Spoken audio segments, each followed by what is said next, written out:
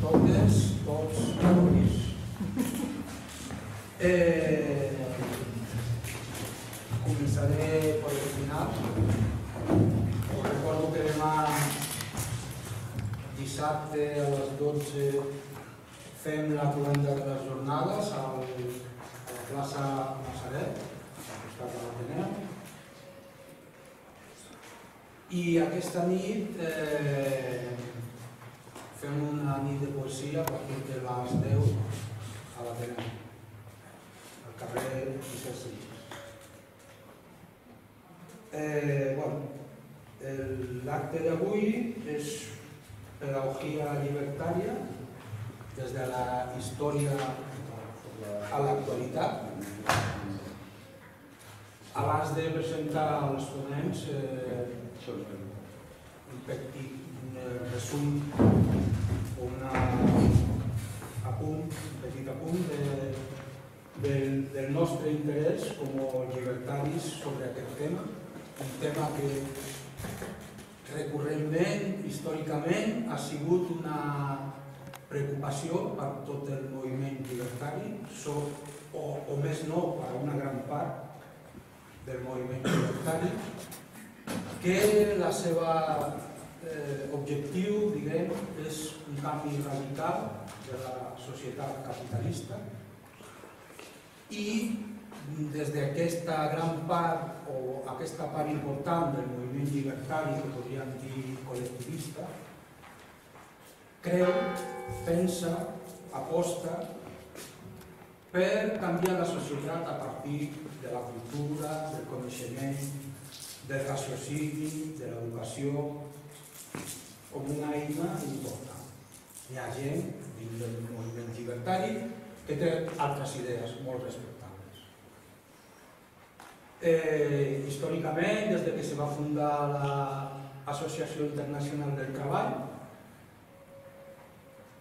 eh, almenys per lo que jo conec aquí a l'estat espanyol, des del ben començament, totes les societats obreres,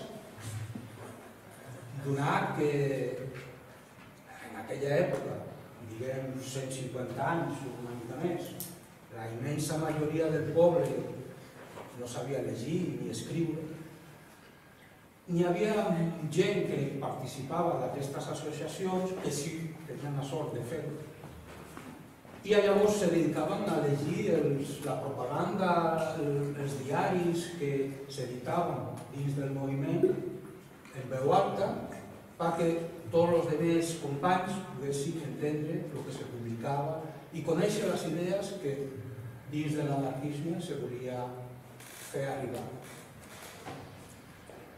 I, bueno, només això, també moltes idees eh, com el naturisme, l'excursionisme, el, el vegetarianisme, són coses que mm, se van començar a,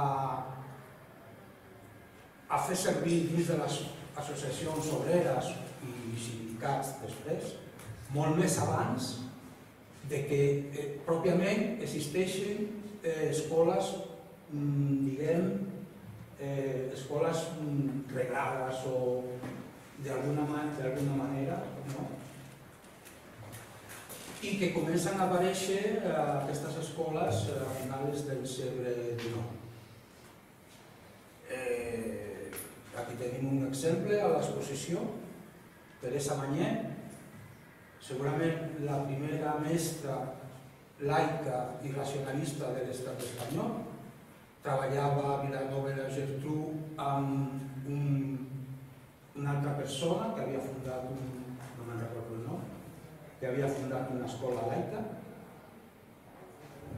i que juntament al seu company marit eh, Joan Montseny, àlies Federico Ulares, van fundar també eh, l'any 1891 eh, una escola laica, racionalista para ambos sexos, a Reus. Va durar tres o quatre anys perquè en, en l'any 90, 92 o 93, degut als fets de canvis vells, canvis vells, a, a, de Corpus, la bomba, la famosa bomba de Corpus, a Barcelona, eh, van detindre a, a, a Federico Urales, que vivia a Reus, van vindre a, a, i a ell i a molts més llibertaris, lo van portar caminant fins a Barcelona, lo van ficar a Montjuïc, i de Montjuïc lo van, lo van condenar a l'exili a Londres. I llavors la, la Teresa Mañé, alias eh, bueno, no me'n recordo ara. Eh, bueno, va, va prendre la, la, la decisió d'anar-se també a Londres. Vull dir, amb això vull dir que des de ben començament les escoles laiques i racionalistes dins del moviment llibertari han sigut un fet continu al llarg de la història. Evidentment, el cas més famós és Ferrer i Guàrdia, però al mateix temps de l'època on Ferrer i Guàrdia va fundar l'escola moderna, hi havia així, bueno, així, hi havia un munt d'escoles de, de, de la mateixa, de la mateixa, eh, de la mateixa eh, model, Evidentment, eh, hi un, un agujero negro entre el final de la guerra civil i la mort del dictador, que ahí, pues, clar, tota innovació pedagògica, no solament llibertària, sinó de qualsevol tipus, se va acabar.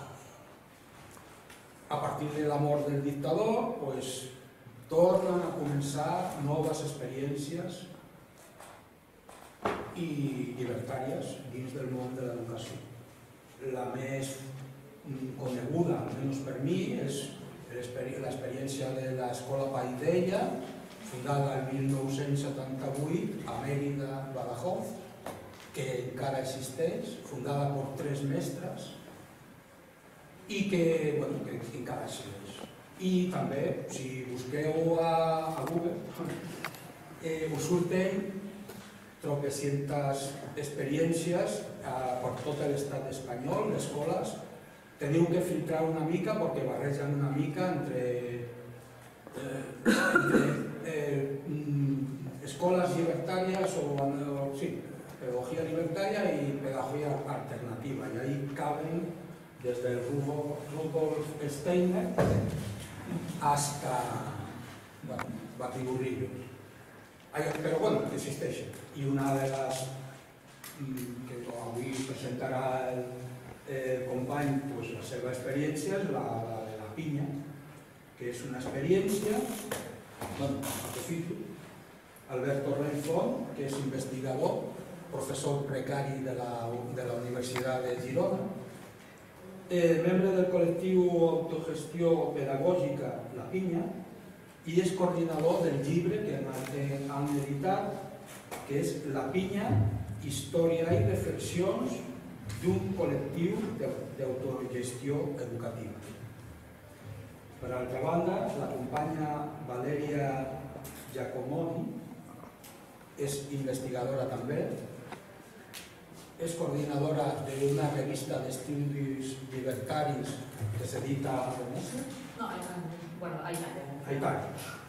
Que se diu Semisoto la neve i que és autora del llibre eh, Joan Puig Elías, Anarquismo, Pedagogia i Coherència. Mm, ella nos dirà qui era aquest personatge molt influent dins de la, des de la, de la pedagogia i del, del, de lo que va ser l'educació en un gran part de la república abans del, abans del, del final de la guerra. Gracias, entonces.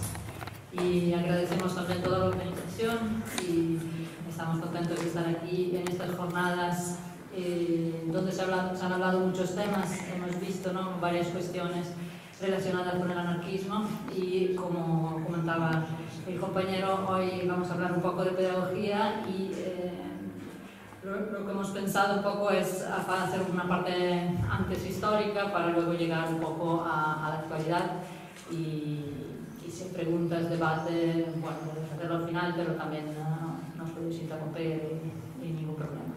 Yo entiendo bien el catalán, pero me sale mejor expresarlo en castellano, así que seguiré con el castellano.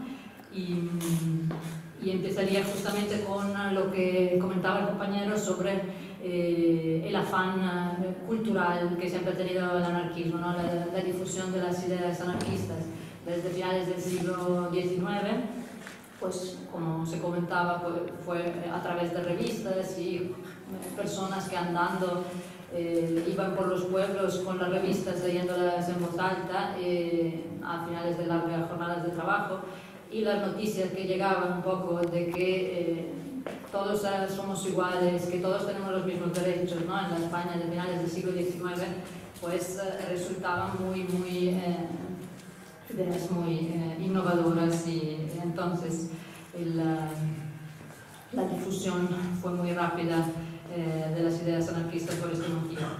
la cuestión del conocimiento, quizás es complicado pensarlo hoy en día en la sociedad de la hipercomunicación en la que vivimos, pero hay que pensar un poco eh, a finales del siglo XIX, primero que la tasa de alfabetización era muy baja y entonces pues eh, las personas que tenían acceso a la escuela eran muy pocas, pero también eh, la gente no estaba acostumbrada a viajar, la mayoría de las personas vivían alrededor de la zona de, de donde vivían, entonces las noticias tampoco eh, corrían eh, o, o, se podían uh, difundir rápidamente. Entonces, eh, se, con la difusión de las ideas anarquistas se eh, difunde también la, el convencimiento de que el el conocimiento eh, es el poder. O sea que las, los privilegios se mantenían también gracias a mantener gran parte de la población en la ignorancia, ¿no? Y que con los mismos, si todos tuviéramos los mismos conocimientos, pues todos podríamos eh, emanciparnos, ¿no? Y eh, entonces tener el mismo, el mismo poder. Eh, es desde aquí que nace un poco el afán de la, por la difusión de la cultura del anarquismo y y uh, me ha apasionado eh, la historia del movimiento eh, anarquista español en particular, porque yo soy italiana y llegué aquí un poco sobre esta investigación. Y me, me, apasionó sobre todo por la plasticidad del movimiento anarquista español, o sea, la capacidad de adaptarse a diferentes situaciones y coger diferentes formas ¿no? y proponer diferentes o sea, propuestas constructivas porque a menos siempre se conoce más fácilmente lo que lo, el anarquismo, los anarquistas no quieren, pero es más complicado eh, conocer las propuestas constructivas del anarquismo. Eh, pues eh, eh en España, eh, después de una primera fase, como se decía antes, un poco de también propaganda por el hecho, a finales del siglo XIX, en el que se, se proponía, había la idea de destruir la sociedad, pues el movimiento anarquista español se concentra un poco en la construcción de una nueva sociedad. ¿no? Entonces, ¿qué podemos hacer para eh, construir una nueva sociedad? Eh, principio del siglo XX, las grandes uh, huelgas eh, eh, muestran un poco que la fuerza de los trabajadores unidos era una, una vía eh, que podía permitir una lucha para la mejora de las condiciones de vida pues uh, fue en 1910 que se fundó la CNT, el sindicato anarcosindicalista, y desde el principio no se concentra solo en cuestiones laborales, sino que siempre ha tenido eh, este afán eh, por la cultura y por la pedagogía. Alrededor de la, de la sede de los sindicatos se fundaron se fundaban ateneos para cursos uh, para, que, que, hacían para los trabajadores por la noche y, eh, y, luego fueron abriendo escuelas racionalistas para los hijos de los trabajadores. Como se comentaba antes, el modelo para estas escuelas fue la, la Escuela Moderna de Ferrer y Guardia, eh, que ofreció un modelo que encajaba perfectamente con los ideales de los anarquistas eh, y además con la editorial de la Escuela Moderna dejó muchos libros de textos que se pudieron utilizar eh, para seguir el proyecto. Eh, si en un principio, en los años 10 y 20, eh, las escuelas racionalistas eh, se basaban un poco en la buena voluntad de los uh, militantes, entonces algún compañero que intentaba uh, abrir la escuela porque tenían esta idea, fue en los años 20 y 30 que se fue eh, formando un proyecto educativo un poco más eh, concreto y, eh, y, se fue desarrollando, digamos, el proyecto de la pedagogía libertaria. Em,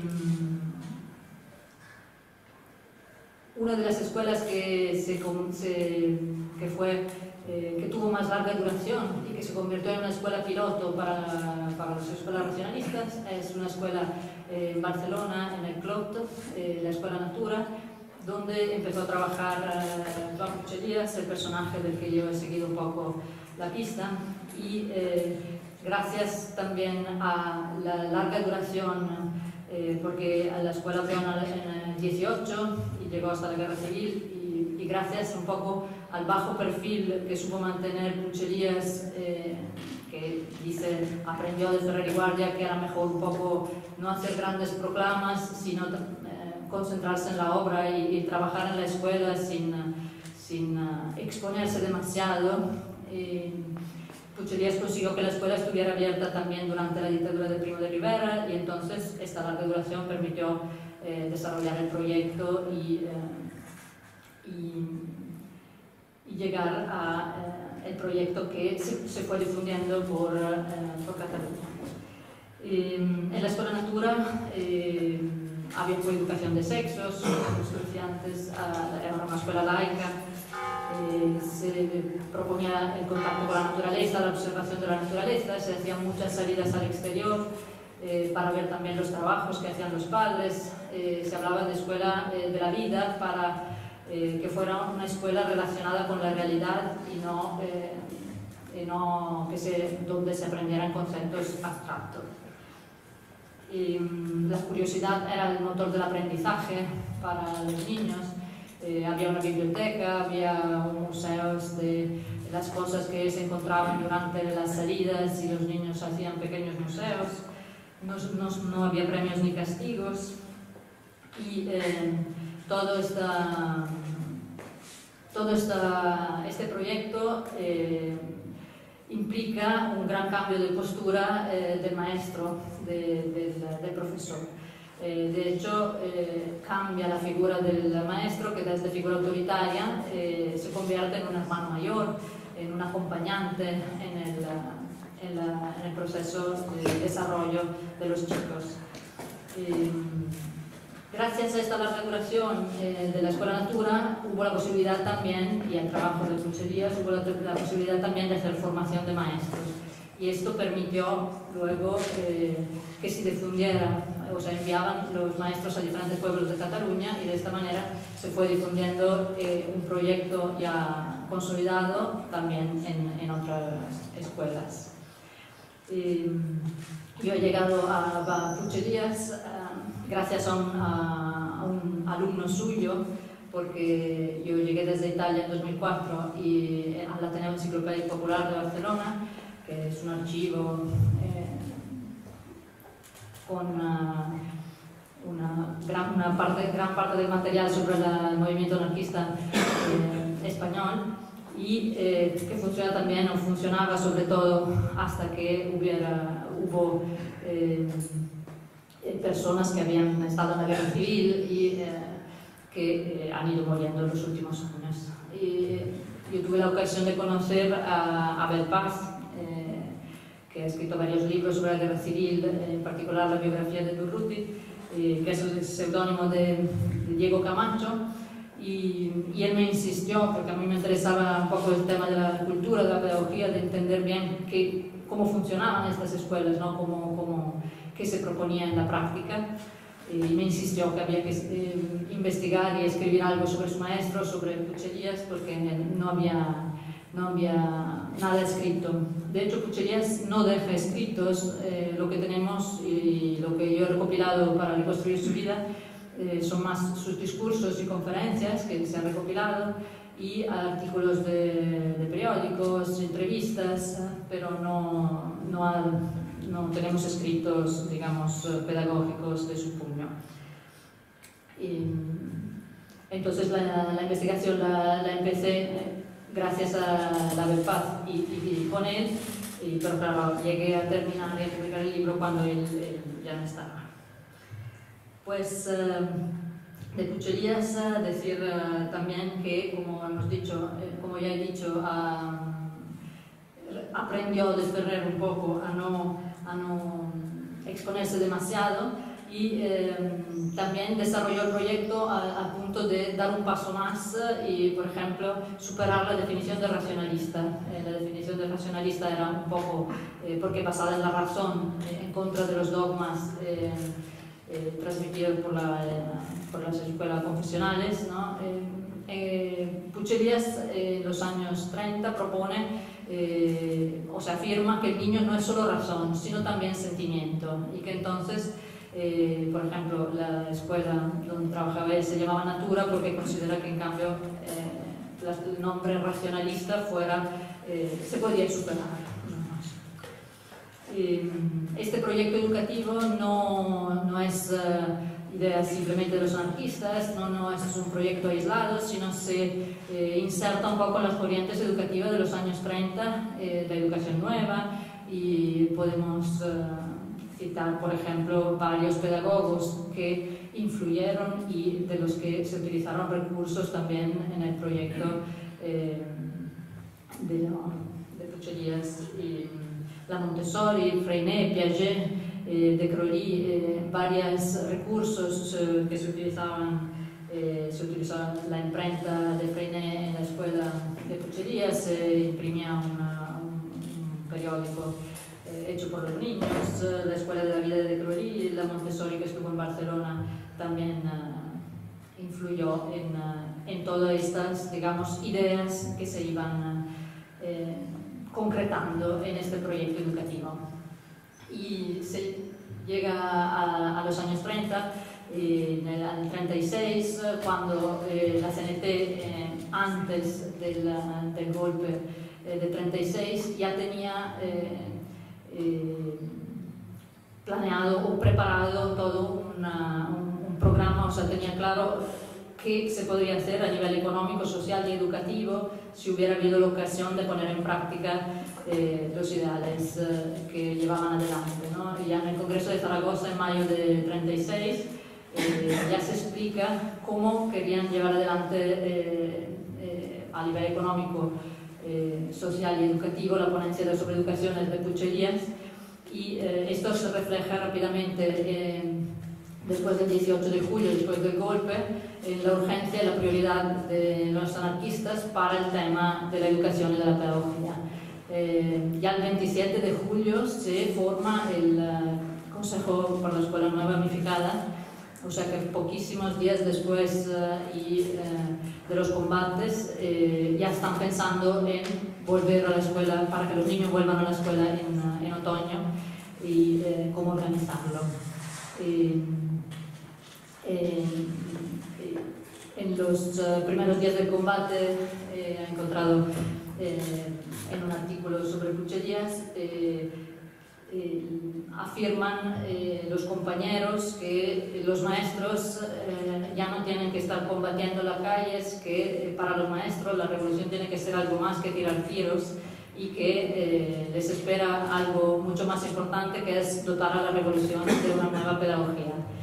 Y en esto la escuela justo se considera la bandera de la revolución y el el empeño y el trabajo que ponen en un momento de guerra eh, resulta eh, sorprendente. Eh, en Barcelona y en, en, Cataluña en general se fueron eh, requisando las torres y las fincas para poder eh, transformar en escuelas la, torres y que, que habían dejado eh, libres los burgueses que se habían escapado eh, de Cataluña y el, eh, el, trabajo que se consigue llevar a cabo, aunque en, una, en, un momento de guerra, en Barcelona ciudad, en el primer año, o sea, desde 36 a 37, es eh, llegar a un número de niños que eh, si en 36 había 34.000 niños que iban al cole, en, en 37 hay 116.000, o sea que se llega a escolarizar una población mucho más alta.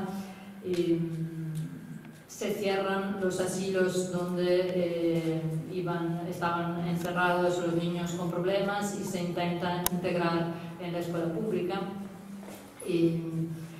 Eh, el Comité por la Escuela No Bonificada eh, acepta a la unanimidad, digamos, el proyecto educativo de los anarquistas y lo pone en prácticas en todas las escuelas públicas. Todos los testimonios que tenemos de personas que han eh, estado ahí como alumnos eh, son uh, de entusiasmo, que parece olvidar que fue un momento de guerra y, y, el gran cambio que se llevó a cabo también eh, estuvo relacionado con eh, la creación de consultorios médicos pedagógicos eh, y salidas al exterior. Bueno, se consiguió eh, poner en práctica todo lo que se había experimentado hasta ese momento en las escuelas nacionalistas a nivel eh, de toda Cataluña. Luego, con el avanzar de la guerra, eh, la, las escuelas eh, fueron, se fueron uh, convirtiendo en colonias escolares, se fueron alejando los niños de las ciudades para evitar los bombardeos.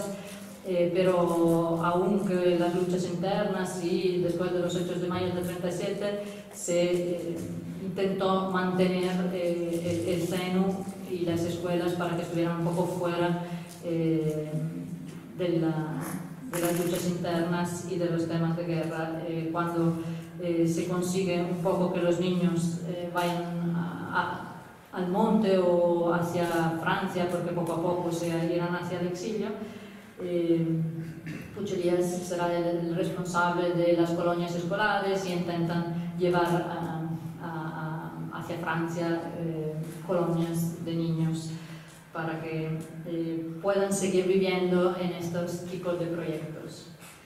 Y, mm, antes de, de, pasar la palabra un poco a, Albert, solo decir que luego en el exilio eh, sigue trabajando y se queda eh, muchos años en, eh, en, Francia, en el sur de Francia, esperando la posibilidad de poder volver a, a España y que hacían cursos eh, por correo, hacían teatro para mantener viva la cultura y el proyecto eh, que, eh, por el que habían luchado.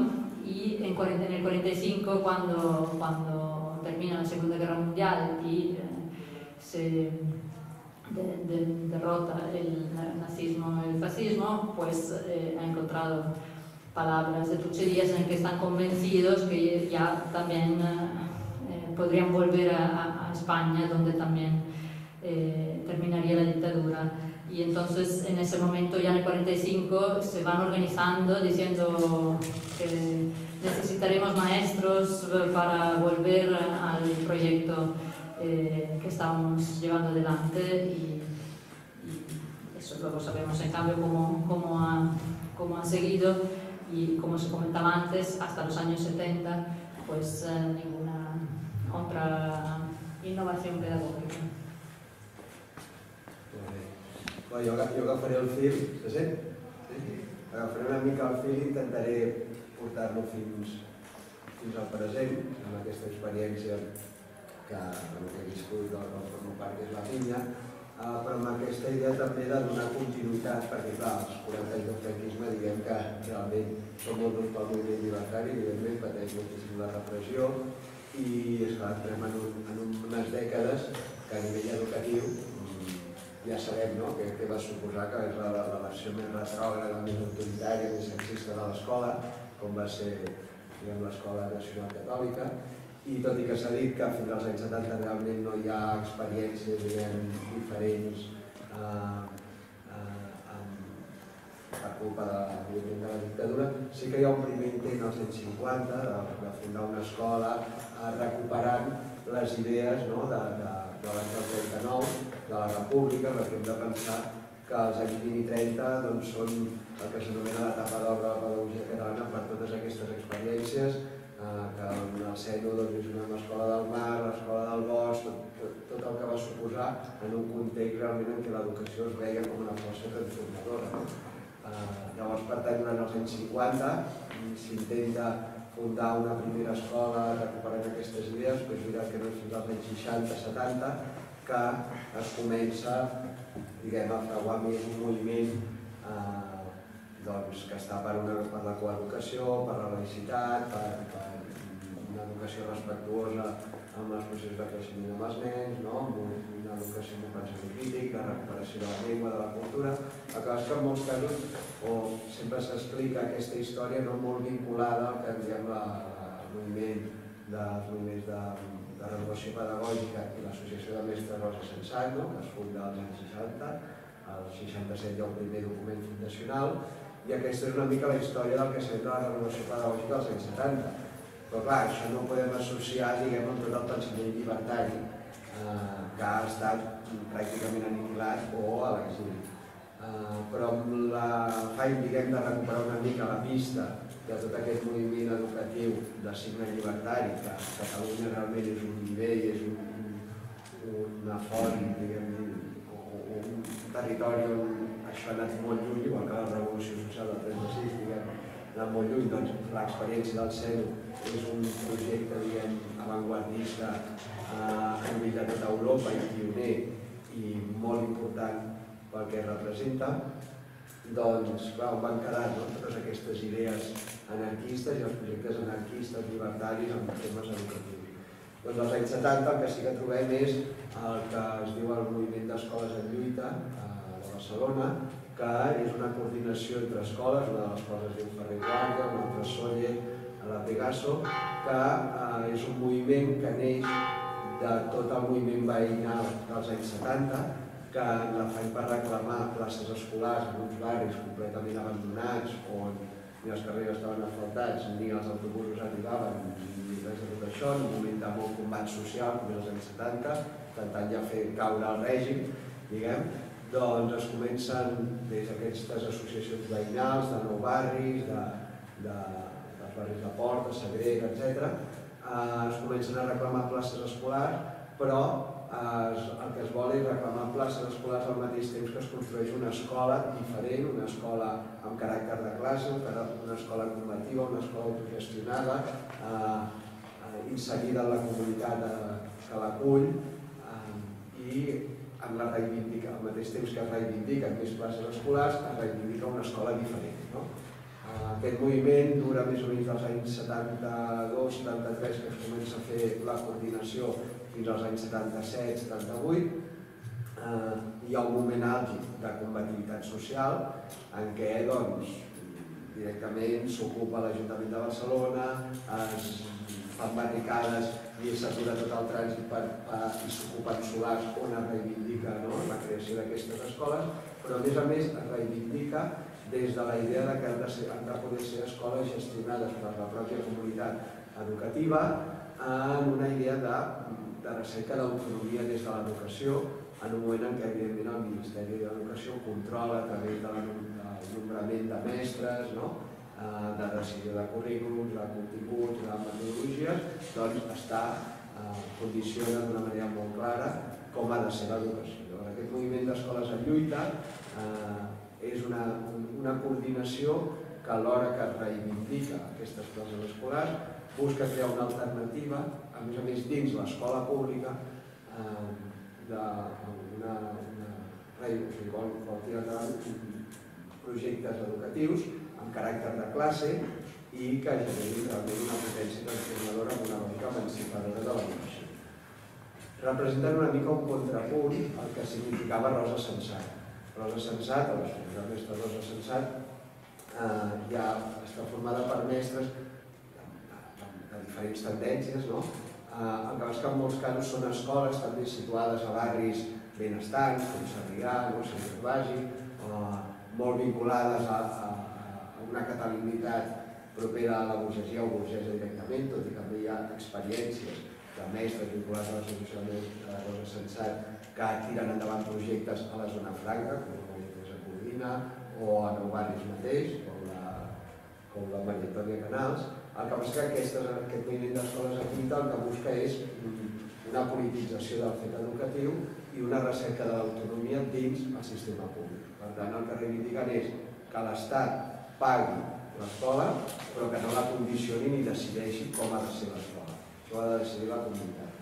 Això una mica eh, enllaça amb aquesta recerca d'autonomia i amb aquests projectes educatius que des de Ferrer i Guàrdia, les escoles racionalistes, etc., busquen no, fer de l'educació quelcom que no estigui sota els designis, finalitats, objectius del propi estat capitalista, perquè consideren que l'escola és un instrument precisament d'obediència i de reproducció d'aquest model.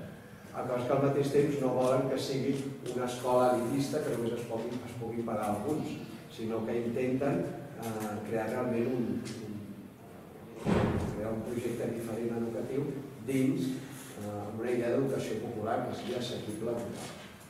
Eh, tinc alguns fragments eh, per llegir perquè, per sort, eh, aquest moviment eh, de lluita política i social centrada en l'educació eh, van tenir temps per escriure documents, per publicar un llibre, inclús, que es diu Escoles i Truja, un col·lectiu que diu el col·lectiu Caps de Setmana, i que d'alguna manera va teoritzar sobre tot aquest moviment educatiu vinculat al moviment social i polític del moment. I que és una cosa, diguem, no inèdita, però sí difícil de trobar en aquesta recerca del que és la pedagogia llibertària a Catalunya, perquè en molts casos projectes que s'obrien eh, també als anys 70 o abans també, tenen temps, tenen el temps just per desenvolupar una mica el projecte, però no per escriure, recollir, no? elaborar tot aquest coneixement i tota aquesta experiència, que llavors el que ens ha passat és que ens ha faltat trobar aquests referents no? i reivindicar tota una trajectòria de pedagogia llibertària que ha contribuït moltíssim al que és l'educació avui.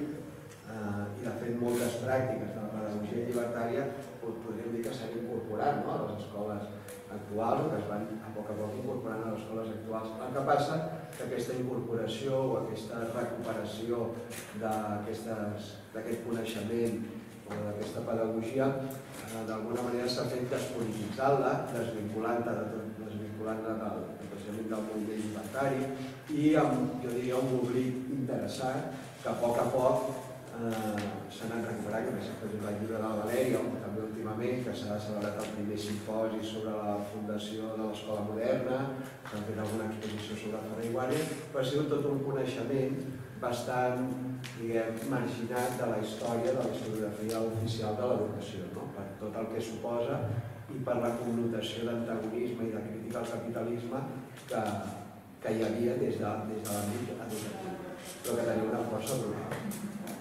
Eh, per tant, als anys 70, o sigui, la, la recerca també busca recuperar aquesta, aquest fil de la pedagogia llibertària que durant 40 anys queda tallat pel franquisme, però que segueix latent diguem, en el nostre entorn, que és, és Catalunya, que és molt prolífic en termes de pedagogia llibertària.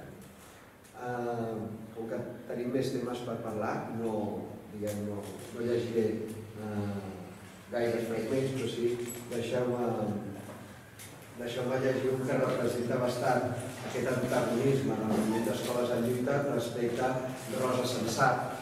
Eh, bueno, de fet, eh, suposo que explicat també sobre una recerca feta en l'àmbit de, la, de la universitat, entrevistant a protagonistes d'aquest moviment d'escoles en lluita, que com us deia està format per l'Escola Ferrer Guard, l'Escola Sóller i la Pegaso, eh, diu així, diu l'alternativa de Rosa Sensat se quiere presentar como una alternativa a la Ley General de Educación. Si podem als anys 70, amb diguem, el dictador, estem en, en ple procés de transició, transacció, diguem. Eh, indudablemente hay diferencias entre una y otra, entre Rosa Sensat, que proposa Rosa Sensat, una Ley General de Educación. Pero estas diferencias no suponen un cambio estructural profundo, ya que en el, fondo la escuela activa, que es la que representa los Sensat, supone un reforzamiento de las líneas generales de la propia Ley General de Educación.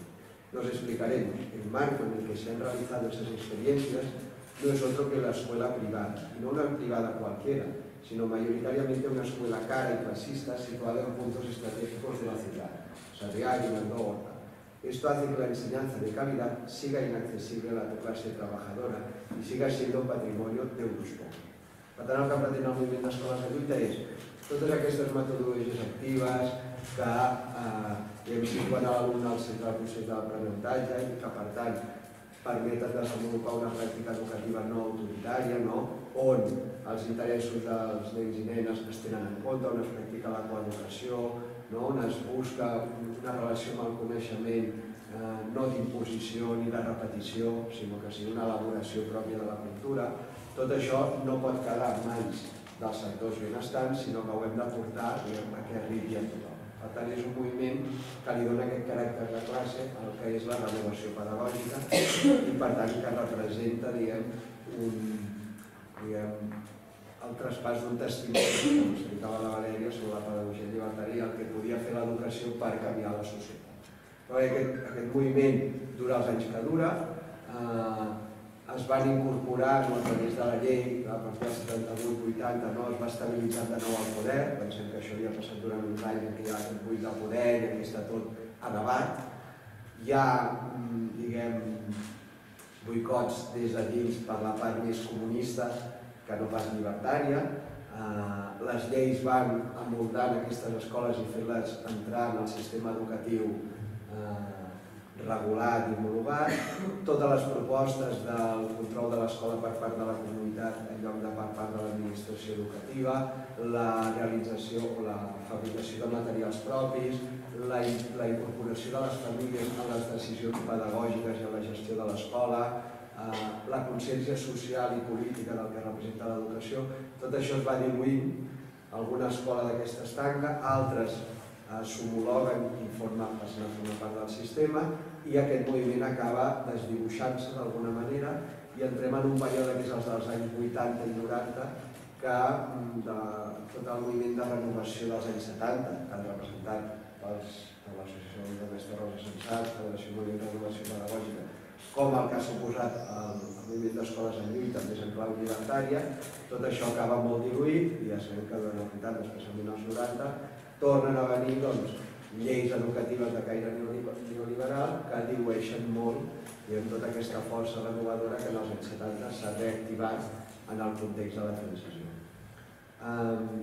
en paral·lel, però, tenim una altra de experiències que s'ha nombrat aquí, que és l'escola anarquista Paideia.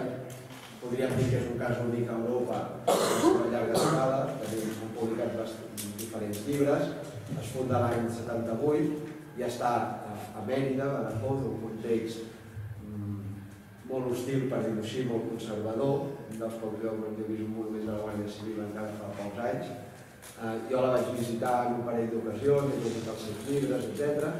I no vull parlar per, per boca seva, diguem, perquè són elles les protagonistes de l'escola, però crec que és de justícia nombrar-la com a exemple de pedagogia llibertària des de l'any 78 fins a l'actualitat. No? Eh, és una escola eh, que fa una aposta clara per l'anarquia com el millor sistema social econòmic possible, on li dona una connotació política clara a l'educació, tot des de l'escola i els cartells de què és l'anarquisme, què és el feminisme, què és el capitalisme, és a dir, no hi ha una por a fer explícit la, fer explícita la qüestió política, eh, i té la virtut doncs, de, de, de mantenir-se constant des dels 78 fins ara. Han passat eh, moltes etapes, etapes en què s'ha obert a la participació de les famílies a l'escola i hem vist com les famílies diluïen aquest projecte polític eh, diguem, intentant treure totes aquestes, aquestes bases que, són tan importants i que la fa precisament diferent perquè es reconeixen com una escola obertament anarquista, no es diu una escola lliure però en el sentit llibertari, és a dir, una escola llibertària. I, i entenen que l'autogestió, l'autonomia eh, són valors fonamentals eh, que a través de l'educació s'han de viure per poder construir una societat eh, anarquista i llibertària. No? Eh, han hagut d'aquesta evolució en aquests, tots aquests anys anar, diguem, redirigint el projecte eh, cap, a, cap, a, cap a les bases fundacionals, que són, que són els principis anarquistes, eh, els principis anarquistes tal qual, no? I, i bé, tenen això, aquesta, aquesta virtut d'haver pogut mantenir-se. És una escola privada, és a dir, això també dic perquè és un tema recurrent en la història de la pedagogia llibertària, el debat entre crear escoles privades, autònomes, fora del control de l'Estat, o bé dins el propi estat durant els anys 30, 20, 30, hi ha molt aquest debat no, entre anarquistes que consideren que cal crear una xarxa autònoma, eh, que són les escoles nacionalistes, amb el problema que això suposa a nivell de finançament, a nivell de sostenibilitat d'aquestes escoles, i altres escoles que quan amb la creació del CENO decideixen, eh, altres mestres, perdó, que amb la creació del CENO, que representa la, diguem, la generalització del, en el sistema dels principis llibertaris de l'educació, decideixen passar dins del sistema educatiu públic perquè consideren que és la manera d'arribar eh, d'arribar a tots els nens i nenes i de tenir, aprofitar els recursos que té l'Estat, la Generalitat, per fer arribar els principis anarquistes a tota la població infantil. Aquest és un debat constant, diguem, dins la pedagogia llibertària. I en el cas de Paideia, per exemple, doncs és una escola privada que intenten que no sigui inaccessible econòmicament per les famílies que volen participar, per tant, busquen maneres perquè l'economia no sigui un problema, però entenen que només des d'aquesta autonomia que li dona la titularitat privada poden desenvolupar el projecte tal com ells, ells creuen. Ho dic també perquè en el moment present aquest tema està, és recurrent, no? de les escoles, eh, les escoles privades que busquen un projecte alternatiu que representen a nivell d'accessibilitat, inclusió no? i d'igualtat. Eh, i per què no s'ha d'intentar portar això dins el sistema públic. I, i una mica en aquest sentit, eh, crec que la pinya aporta idees o una experiència que fa encaixar una mica aquest, aquest debat, no? aquest dilema dintre aquesta privacitat que, dona autonomia no? i el fet de ser públic que dona inclusió o arribar, arribar Uh, parlaré una mica ara de la pinya, perquè crec que té interès pel, pel moment actual, però si després voleu una mica més aprofundir sobre la idea, sobre el moviment d'escoles en lluita, perquè són alguns documents que, que podria llegir, però uh, podríem aprofundir, però crec que, que pot tenir interès ara també parlar d'aquesta experiència de la pinya. Uh, la pinya uh, és un, neix el 2003, i es defineix com un col·lectiu que du a terme un projecte d'autogestió educativa, es formalitza en una associació i es basa en unes eines i pràctiques respectuoses amb els processos de creixement i desenvolupament, desenvolupament dels infants, l'actitud de respecte i acompanyament a les necessitats de l'infant i del col·lectiu del qual forma part és l'eix d'articular el projecte i tal com diem al llibre, creiem necessari encabir la pinya dins de l'entramat d'iniciatives que aposten per la transformació social i per tant que duen a terme una lluita activa fora de les institucions estatals. Per tant, busca ser un projecte educatiu antagonista eh, dins la idea de que eh, dins la idea de l'autonomia i autogestió. En una societat on els diners són més importants que les persones, on el consum, la competitivitat i l'individualisme semblen ser l'únic modus, modus vivendi, nosaltres apuntem exactament cap a la direcció contrària, és a dir, cap a la justícia social, on el que és comunitari té un valor vertebrador i es construeix des de la lliure participació de tots i totes. És per això que des del suport mutu, el compromís i la responsabilitat col·lectiva provem d'articular un projecte que no s'escriu a una ideologia única o a un pensament homogeni, però entenem que la heterogeneïtat de plantejaments és un element positiu sempre que hi hagi un compromís amb la llibertat, la igualtat i la justícia, tant en l'àmbit general de caràcter social i polític com en els petits actes de resistència diària. Aquesta presentació del projecte, en el fons el que està dient és que considerem important buscar des de l'educació construir projectes, diguem, autònoms, antagonistes, autogestionats, respecte a l'Estat, fora dels ulls de l'Estat, i en educació significa reapropiar-se del fet educatiu i que tot el col·lectiu que és la pinya, siguin educadors com famílies, decidim sobre com ha d'anar l'educació d'acord amb aquests valors llibertaris, horitzontalitat, suport mutu, eh, llibertat responsable eh, i col·lectivitat. Eh, com ho hem fet per poder construir aquest projecte i que no sigués, com us deia, un projecte elitista econòmicament parlant? Doncs fent el que als principis de segle també feien els llibertaris, que és fer l'escola en un centre social ocupat. Per tant, que no s'ha de pagar un lloguer, per tant, que ja estem dins aquest entramat d'iniciatives per la transformació social eh, i que permet doncs, un accés a famílies amb recursos, com la majoria, limitats i que no suposa doncs, això, una limitació econòmica.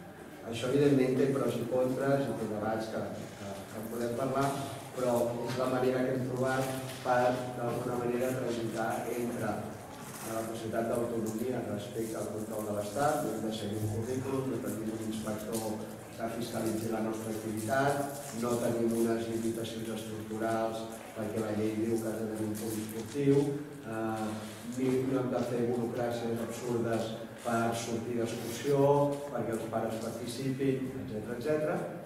però és veritat que eh, això genera, diguem, una inestabilitat legal, econòmica, no? unes dificultats en aquest sentit que assumint eh, doncs, el caràcter polític de l'educació doncs, hem anat afrontant al llarg d'aquests anys, des del 2003 fins avui. Um, clar, tota aquesta experiència diguem, marca molt profundament els que l'hem viscut, però eh, vam voler recollir-la precisament en aquest, en aquest llibre perquè en aquesta revisió històrica de tota aquesta trajectòria de la pedagogia llibertària, doncs trobem o, sabem que hi ha hagut experiències que no han quedat recollides i per tant tot aquest coneixement d'alguna manera perdut o ha quedat en aquells que ho van viure. No? I per això la voluntat de fer, de fer el llibre on intentem representar totes les veus que formen el col·lectiu i per tant hi ha tant escrits dels acompanyants, mestres, educadors, de les famílies i també dels nens i nenes que han passat per aquest, per aquest projecte durant tots aquests anys, alguns dels quals ja estan a la universitat. Mm. L'origen de la pinya, com us deia, és el 2003 i també encaixa una mica amb la voluntat aquesta de construir i proposar després d'un període que a Barcelona, perquè la pinya està situada a l'àrea metropolitana de Barcelona, prop de Collserola, eh, en un moment de molta repressió, els últims anys de lluita, eh, bueno, princesa, molt moviment de desallotjament de cases ocupades, etc. i s'intenten, és un moment en què s'intenten crear eh, diguem, estructures més estables, que siguin ateneus, siguin cooperatives, el que siguin, però eh, també doncs, a nivell educatiu s'intenta crear aquest col·lectiu per donar estabilitat i, i proposar no, alguna cosa en un moment en què una sèrie de famílies vinculades al món de l'educació, l'anarquisme, el moviment antisistema, doncs comencen a tenir fills i diuen com ho fem, no? No, no volem portar-los a l'escola Bressol, volem crear un projecte d'acord amb els nostres propis valors eh, i comencen un projecte educatiu a l'Espai Obert, el centre social de referència de Barcelona en aquest moment, i al cap d'un parell d'anys troben un espai social que s'acabava d'ocupar, amb bosc, a prop de la muntanya, i comencen allà. Què és la casa de la muntanya? Podria ser? No, no, està a Cal Suís, no coneixo, a, a Plugues. Està a prop, no? D'on? de la casa de la muntanya. No, està a Plugues, a l'altra banda. Clar, és que amb Casa de la Muntanya tenim molta relació. Bueno, hi ha hagut gent de Casa de la Muntanya que portat els seus fills allà, etc. I... No, bueno, que en aquell moment, el 2005, quan anem en aquell centre social, eh, passa una cosa diguem que és bastant representatiu eh, del que després, com es configurarà la pinya no, amb els anys, eh, el grup de famílies que tenien aquests fills, no, iniciant el projecte, es troben amb un grup d'educadors que tenen la idea no, de, de, també de crear un projecte. Llavors sembla que l'encaix pot ser molt, molt senzill. Què passa? Que al, pocs de, al cap de pocs dies d'iniciar el treball conjuntament, aquests educadors el que diuen és que són ells els que han de decidir la línia pedagògica. Mentre que les famílies que venen de tot un entorn llibertari, assembleari, horitzontal, considerem que no, que les famílies també han de poder decidir sobre la línia pedagògica. No? Aquí es, es crea una decisió, aquests educadors se'n van i la penya segueix el seu recorregut des de la idea que és la col·lectivitat de cada local i nenes. Això no vol dir que no hi hagi uns educadors que estan en el dia a dia a l'espai educatiu, eh, però les famílies estan participant directament i implicant-se en les decisions també pedagògiques. I perquè hi ha projectes d'escoles lliures, alternatives, no? on les famílies no deixen de complir un, poc, un paper de gestió econòmica, no? de, de manteniment, de cuinar, però no sobre la qüestió pedagògica. I una de les coses que la pilla posa de relleu és que aquesta reapropiació del fet educatiu per part de la comunitat no s'ha de donar només per part de, dels especialistes, que serien els mestres, sinó que és un debat que ha de tenir tota la comunitat. Llavors, això és, és un dels trets definitoris també de la pinya que encaixa amb aquests principis llibertaris de la col·lectivitat, la horitzontalitat i la no delegació ni en l'Estat ni en els suposats especialistes de la qüestió educativa. Mm.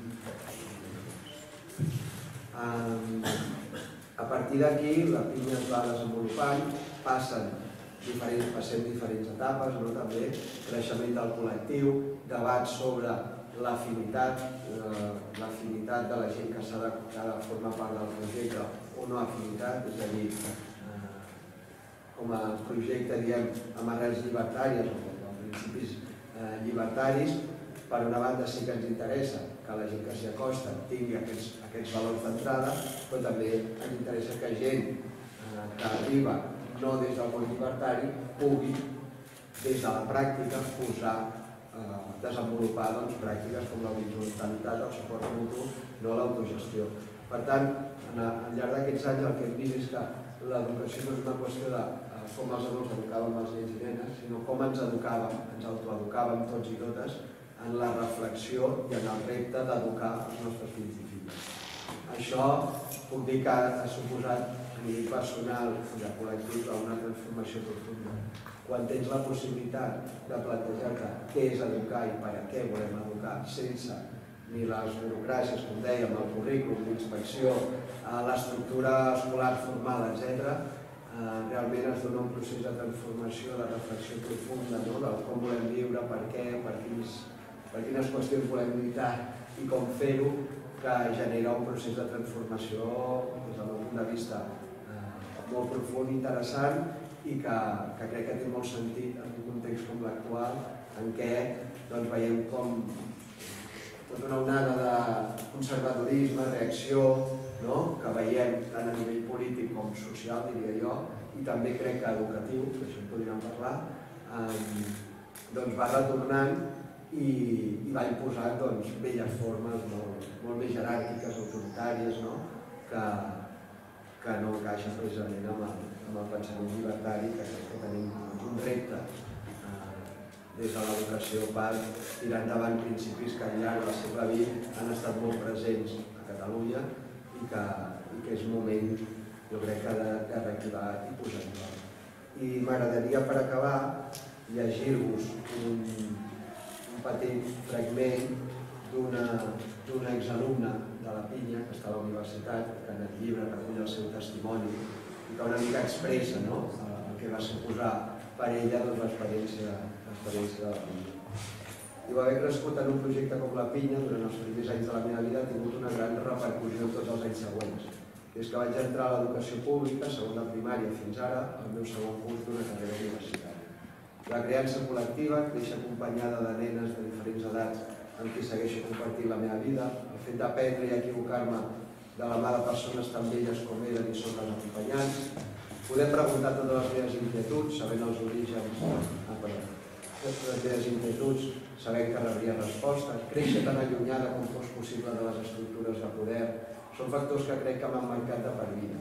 I això que hi ha hagut moments de la meva educació en els quals he desitjat el que jo tenia per ser normal, haver crescut amb la mateixa educació que van rebre les meves companyes i companys de l'escola pública.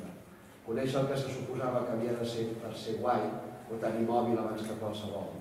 Però sóc conscient que totes aquestes diferències que han marcat tant els meus pares com l'educació que vaig rebre a la pinya i els ambients on he estat des de petita m'han fet avui dia sentir-me a gust en espais on es qüestiona la normativitat. M'han fet veure l'educació i la societat d'una altra manera i ser capaç d'adquirir la consciència crítica que moltes vegades s'intenta erradicar tant en infants com en adultes. Recordo, per exemple, que quan vaig entrar a la primària em sorprenia enormement haver de demanar permís per anar al bany. Per què, si és una necessitat humana? També em va sorprendre i em van venir bastant de nou les esbroncades que em fotien alguns professors. Per què ens cridaven? Poques. Vaig tenir la sort d'anar a una escola pública amb moltíssimes professores, però així i tot alguns crits van caure. En relació al soroll, també les meves amigues sempre em recorden que la primera vegada que vaig entrar a la classe de primària em vaig tapar les orelles pel soroll que hi havia. Acostumada a espais amb poques nenes, vaig entrar de ple en una aula amb 25 persones. Em van aclaparar també haver de saber coses que van ser valorades positivament. A la pinya apreníem cadascun el seu ritme i per saber més o menys mai ningú va ser tractat diferent. Vaig passar de sentir-me en família a sentir-me molt petitona al costat de totes aquestes companyes que ja feia anys que es coneixien, que tenien les seves dinàmiques, els seus records comuns. Evidentment va haver-hi un moment en què això em va passar, però vaig trigar temps a adaptar-me.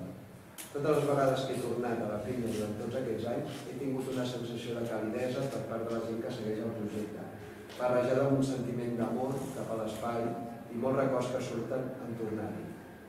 Si penso en projectes en els quals m'agradaria participar en un futur, sens dubte penso la pinya i espero sincerament que no tinguis en el sentit, que m'agrada llegir això perquè crec que és una reflexió bastant matisada, a dir, no idealitzada de que és un projecte allò diferent, no? perquè evidentment hi ha pràctiques a l'escola pública que són, des del meu punt de vista, molt respectuoses, transformadores, de manera no? de, de promoure el pensament crític, etc.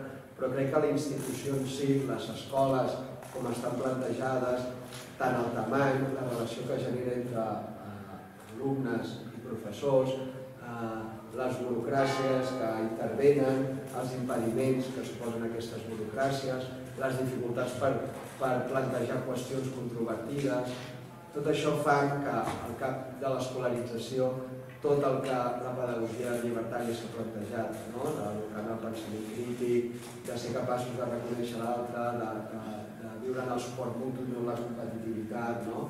d'aprendre a cooperar, respectar l'altre per tal com és, costa molt de fer dins diguem, la institució pública per qüestions molts cops estructurals, no perquè molts mestres no ho vulguin, però per qüestions estructurals. Llavors, penso que l'educació des de l'autonomia, l'autogestió, malgrat és difícil, eh, pot ser una experiència realment transformadora de cara a l'emancipació i que és molt necessari, tot i les dificultats per construir projectes com aquest. Llavors, doncs, uh, crec que hem de seguir. Bueno, jo ho deixaria aquí i estarem encantats de rebre preguntes, comentaris, espero que m'hagi explicat. A vegades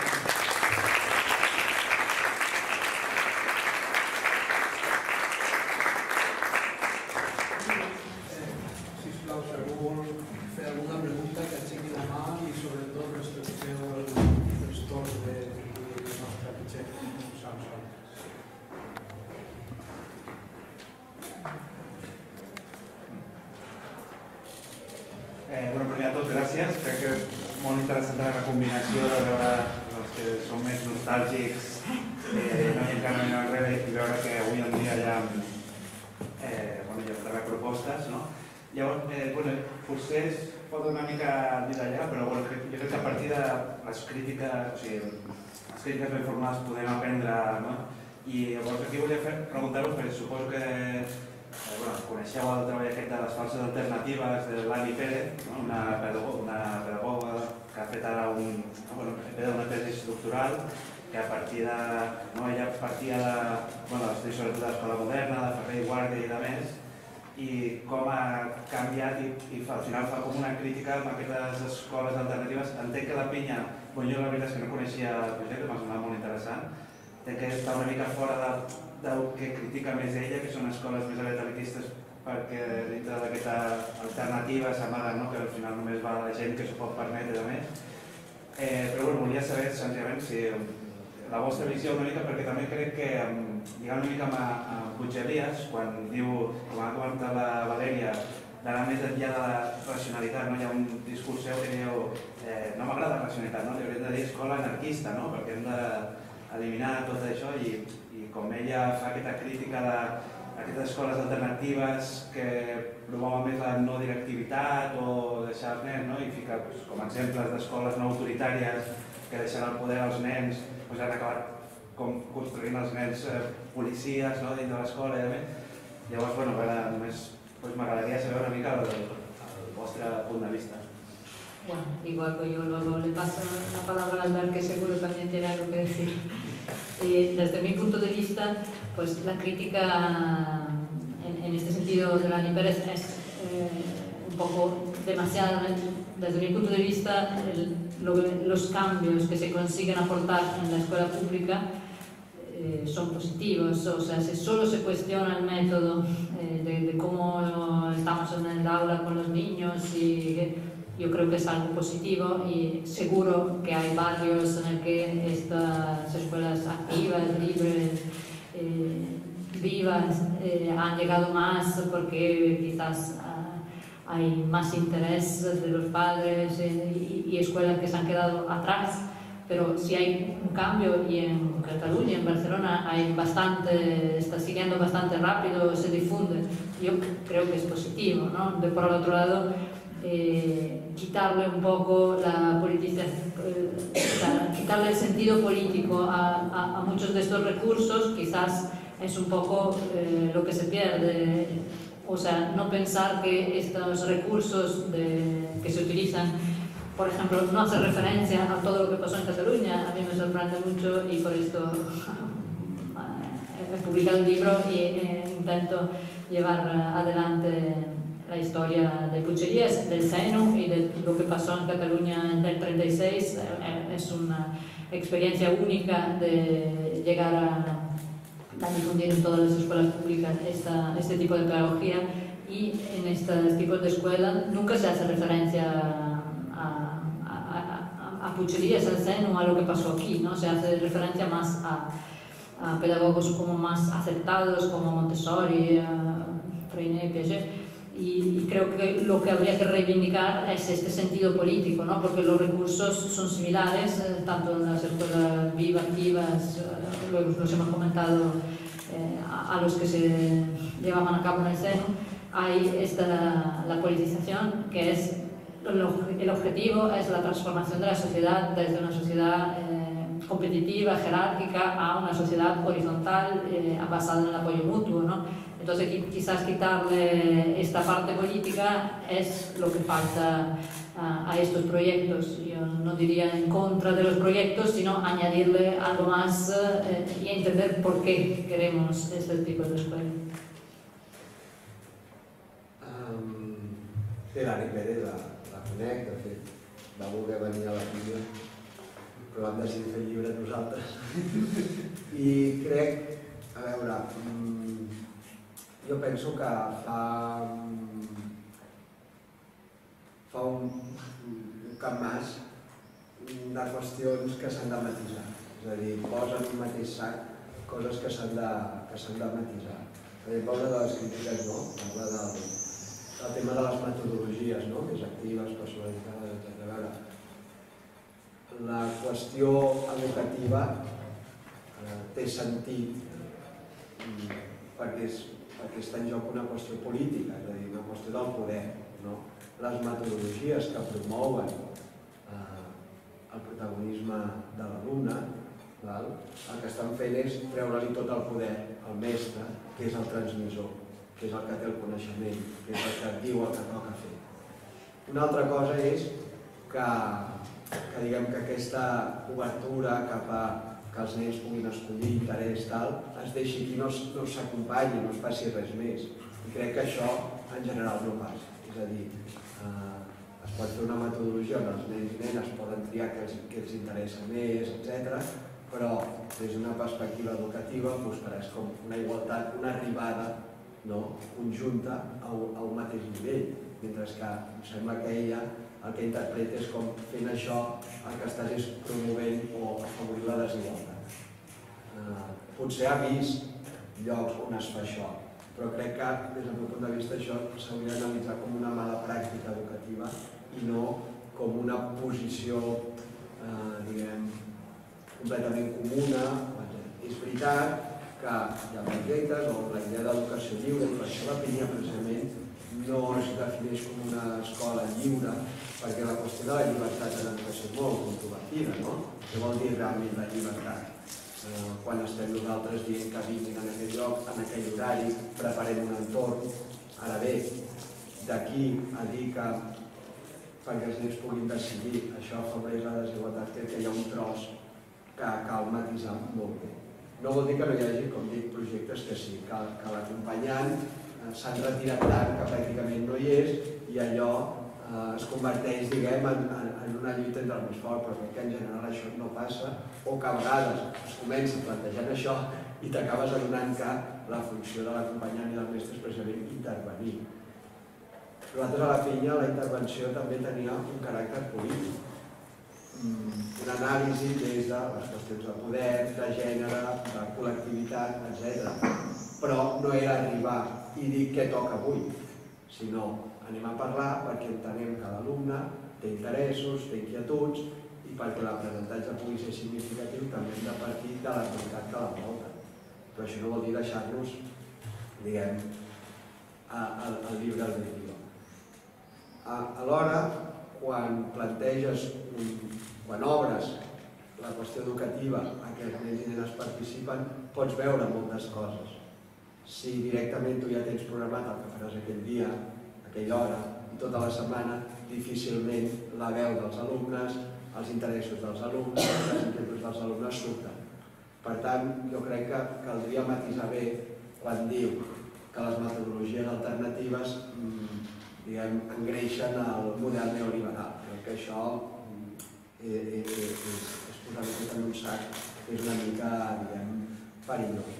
Després hi ha el debat de la pública i la privada, i per això aquí el tema de la pinya, eh, ja ha dit que això ha estat en el, en el moviment llibertari ha sigut un debat continu. Clar, si pensem en aquestes escoles que són elitistes realment econòmicament parlant, eh, doncs sí, des d'aquest punt de vista, clar, queda restringit a una minoria.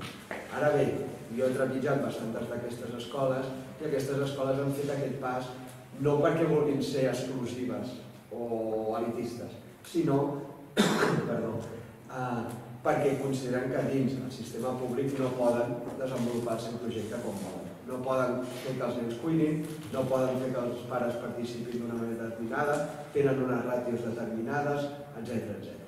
Llavors, mm, aquí ens trobem en un debat que dius, bueno, m'espero que el sistema públic permeti que jo faci això o tiro endavant de la manera que. Clar, la qüestió econòmica realment és molt determinant, però també hi ha escoles que busquen alternatives per veure que aquell que està interessat en participar d'aquesta escola, eh, diguem, no en quedi fora.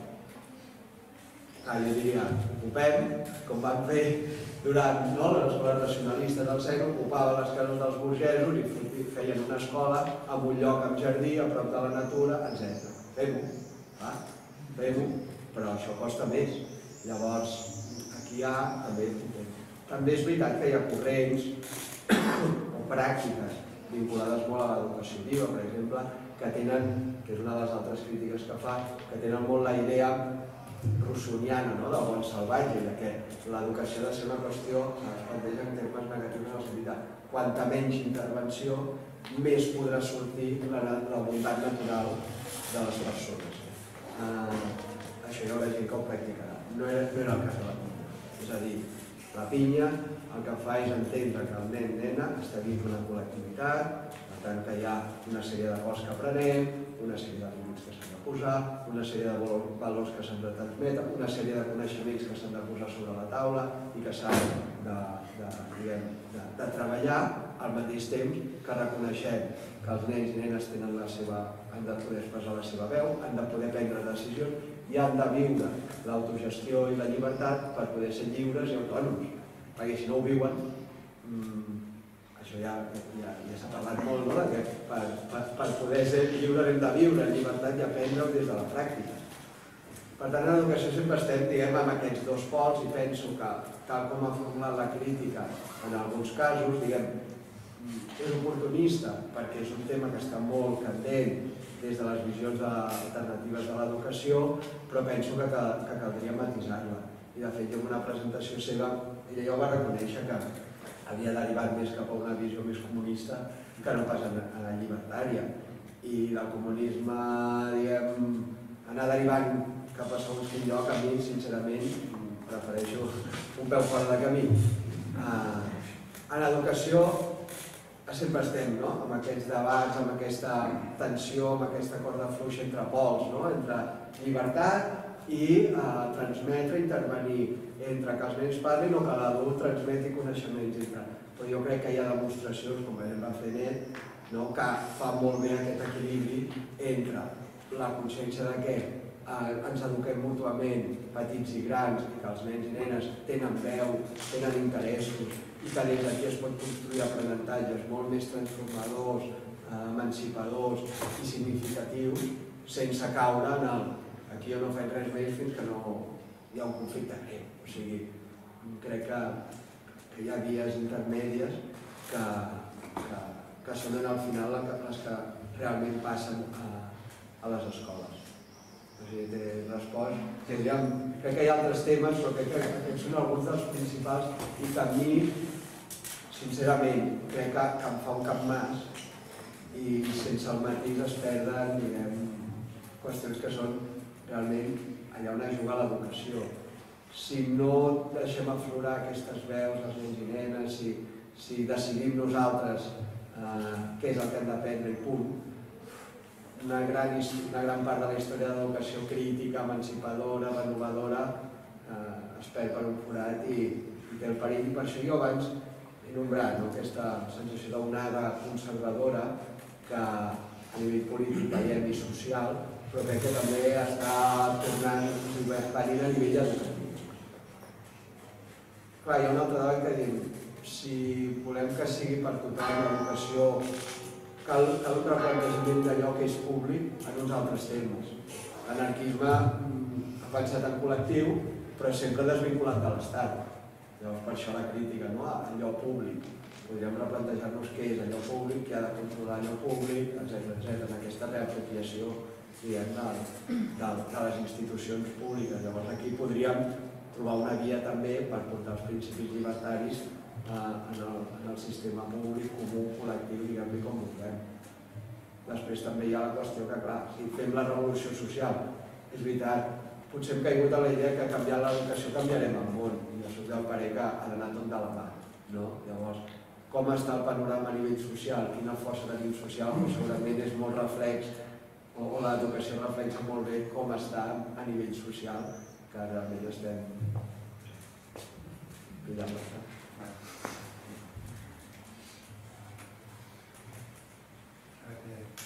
Eh, Sobre el tema de la educación, ya sabemos que prácticamente las escuelas eh, son la base donde se crían las mentes del futuro.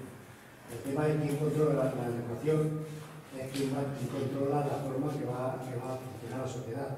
Automáticamente, si el sistema crea sistema de educación con gente preparada para, para ser productivos, vamos ahí.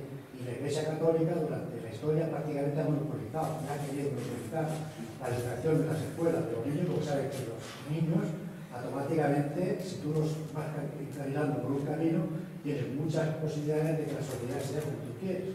Pero a mí eso es una cosa que lo tengo bastante claro. A mí la contradicción es un poco más, aparte de la educación, digamos lo que es la cultura. La compañera hizo un poco de resumen, digamos, del movimiento libertario en la época de finales de los 800 y 1900, donde prácticamente la gran mayoría de personas, campesinos y obreros, no sabían ni leer ni sabían escribir. No había medios de comunicación eh, de difusión masiva, sino que simplemente había unas noticias muy escuetas y la gente iba, leía, leía sus periódicos que hacían los movimientos, escuchaba, analizaba y automáticamente la sociedad tomaba, tomaba un, una responsabilidad de una continente social. Pasan los tiempos y el sistema va automáticamente cambiando todos los sistemas culturales, sistemas de comunicación y todo, y llegamos ahora, a, digamos, en las dos décadas últimas. En las dos décadas últimas no podemos quejar del alfabeto. Todo el mundo sabe escribir, todo el mundo sabe leer, y todo el mundo tiene acceso a la información hasta de los más pequeños países hasta los más grandes. Inclusive es un- una saturación de información. Y sin embargo la conciencia social es totalmente nula. Prácticamente todo el mundo va encaminado hacia el consumismo salvaje 100%. No hay una capacidad de crítica, una capacidad de lucha como teníamos en la época que la gente era analfabeta. Entonces es donde yo que esa contradicción. Si ahora tenemos tanta capacidad a la cultura, a la, a la educación, a las noticias, etcétera, etcétera, ¿por qué hemos terminado en un punto que no nos interesa las cuestiones sociales cuando la gente era totalmente analfabeta, la gran mayoría que no tenía acceso a la información tenía un- una posición de lucha social mucho mejor. Esa diferencia es la que me tiene a mí bastante... Desde mi punto de vista, un poco la gran difusión de las ideas anarquistas en España especialmente, porque por ejemplo en otros países de Europa no, no fue así, es que a finales del siglo XIX aún no había arraigado el capitalismo, aún no había eh, un método, un- una... Digamos que ahora vivimos ya sumergidos en un sistema que ya no reconocemos como tal, pero nos parece normal la, la jerarquía, nos parece normal eh, lo que hemos vivido en la escuela y en cambio a finales del siglo XIX la información, o sea, no había ni, no sabían ni leer ni escribir, pero eh, no estaban, o sea, simplemente existía una, una sociedad como con quien había, tenía los privilegios y quien trabajaba todos los días y no tenía bastante para comer.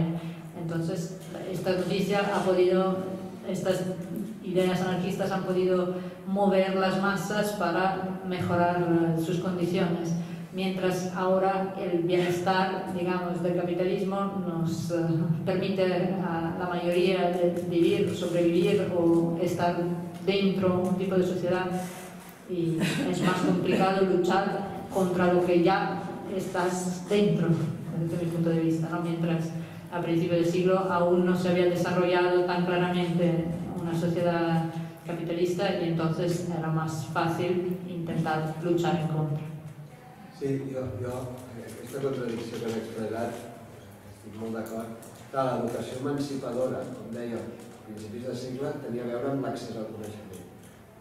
Ara l'accés a la informació la tenim, però no sabem perdó, com transformar-ho en intervenció social, no, en canvi, etc.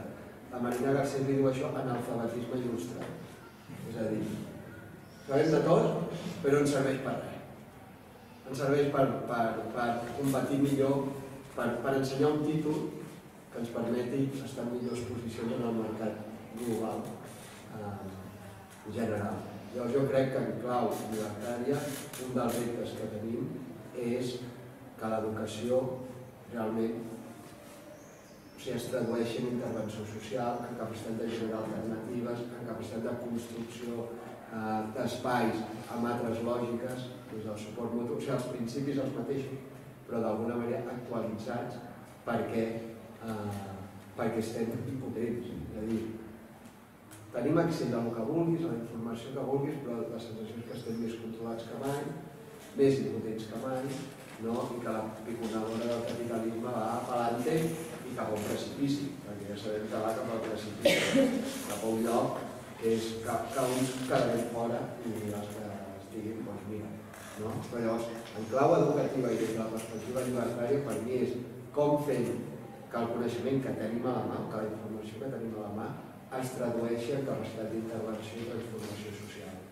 I això, per això deia que des de l'educació i pensant en els més petits, noves generacions, si no viuen altres experiències o experiències en què la lògica eh, de relació no és la competitivitat, no és el mostrar-se, no és eh, els uns sobre els altres, no és la diferenciació per estar en millors posicions en el mercat laboral i en sortir-se, sinó que és des del suport mutu, des de les cures, des del respecte, des de tot això. Si no aconseguim que visquin experiències d'aquest estil, difícilment tindran en l'imaginari, perquè el problema és que ja no tenim en l'imaginari alternatives de vida social, capacitats, que vivències que diguin, no, és que sabem que podem viure d'una altra manera, que sabem que el ser humà és, pot ser una altra cosa que no aquesta carrera eh, on els últims ja s'espavilaran. No? Llavors, en aquest sentit crec que té molt sentit eh, la, pedagogia llibertària la construcció d'espais autònoms, de, de projectes autònoms, autogestionats, on viure realment d'una altra manera, fer experiència, on construir el subjecte des d'una altra lògica que no és la capitalisme, perquè, perquè la informació igualment ja és. I, I ho deies molt bé, el repte és saber destriar, saber quina informació és legítima. Ara amb tot això de la intel·ligència artificial i això, viurem en un món que no sabrem què és veritat i què no. Doncs a nivell llibertari igual, que a vist al segle XVI, el coneixement era el concepte de parlar de l'accés a la veritat, no? o de reconèixer els coneixements legítims del que no ho són. I això tenim un repte molt. A menudo se dice en la pedagogía libertaria aprender a desaprender, ¿no? o sea, intentar quitarnos de encima lo que, lo que no, donde hemos crecido y quizás sin darnos cuenta de lo que hemos asimilado creciendo en la sociedad, en la escuela, en uh, lo que hemos vivido hasta ahora, ¿no? Y entonces es uh, el pensamiento crítico de conseguir ver cómo, cómo, somos y cómo nos gustaría ser, cómo queremos relacionarnos con, relacionarnos con los demás y entonces ahí intentar sí, otro un, camino. Es un poco, o sea, si agarran los países de Sudamérica, Centroamérica México, el anarquismo uh, es una novedad, ¿por qué? Porque allí empezó a hablarse del anarquismo cuando llegó el llegar, bueno, primero gente tipo exiliado económico por la Patagonia, que eran los que iban llevando la información y todo, y después, después la, la guerra civil. Entonces, hoy día en Chile o en México hay movimientos libertarios que tienen un concepto muy diferente que el que se tiene aquí, sobre todo a nivel de la educación, a nivel de la, de la convivencia cotidiana, a nivel de las relaciones de intercambio de trabajo, etcétera, etcétera. ¿Por qué? Porque son sociedades que todavía no han llegado a completar el capitalismo 100%. Hay un capitalismo que es una burbuja, hay una mayoría de la sociedad que vive al día, en el sentido de ganarse, levantarse a la mañana y empezar en lo que se llama el mercado informal, etcétera, etcétera, y entonces sí tiene capacidad de reflexionar y de, pensar. Aquí, como todo el mundo está metido en un, globo, pues lo veo como más difícil. Només un apunt, que d'acord que en termes anarquistes, llibertaris, diguem, la guerra civil, no, tots exiliats i tal, però si mirem enrere, experiències que jo diria anarquistes per les pràctiques com els quilombos o les comunitats alliberades d'esclaus, etc., de pirates que vivien, crec que en el fons la teorització o les paraules són unes, però les pràctiques les podem incorporar tots els sérs humans, en aquest sentit, no? De viure en comunitat, d'aprendre des d'estar en igualtat, del suport mutu, d'ajudar-se els uns als altres en el fons per viure eh, i per viure bé. Llavors, crec que, com deies, aquelles experiències que han estat enterrades i, i matxacades per la colonització segueixen latents i estic molt d'acord que el fet d'estar en la perifèria del capitalisme hi ha altres horitzons i no aquesta clausura del relat únic neoliberal que tenim aquí, que sembla que no, que no hi ha més, no? que no hi ha sortides i que tota l'estona trobem parets, problemes, repressió, etc. Eh, quan vaig conèixer Paidella, farà, no sé, 10 anys així, em vaig, em va cridar l'atenció el documental com sortia, o destacava que els petits burgesos de, de Mèrida portaven els seus fills allà eh, perquè era la millor educació que hi havia no? a, la voltant. Um, I clar, vaig, pensar, ostres, hi haurà com una espècie de moviment de gentrificació a l'educació. És curiós perquè uns anys després es formo part d'aquests projectes elitistes, no? d'educació d'una altra manera, i, i ho estem vivint. No? Com es diu? És el Sumarina. Ah, I... el Marc, el Marc el Sega, el va fundar. Sí, sí, sí, el el conec. I, i clar, em, tenim aquest debat sempre, no? De, hem de pujar potes, perquè, perquè al final volem ser una fàbrica de, de, precari, de precarietat per a les acompanyants que estan eh, amb els nostres fills. Hi ha un tema d'afectes molt important, no? I, i que acaba posant més en valor l'efecte de la persona propera que no poder transformar la, la societat. No? Llavors, la meva pregunta va cap a hi ha una agenda política clara avui dia? Hi ha algun partit que, que aposti per una via eh, de passar de l'educació eh, intensiva a l'educació extensiva? Perquè al final per a mi és una qüestió de. No? O sigui, hi, ha algun, hi ha algun partit que estigui disposat a baixar les ràtios, a canviar la pedagogia de veritat? O, o no s'ha d'apuntar perquè, no? perquè això sigui de la base de la.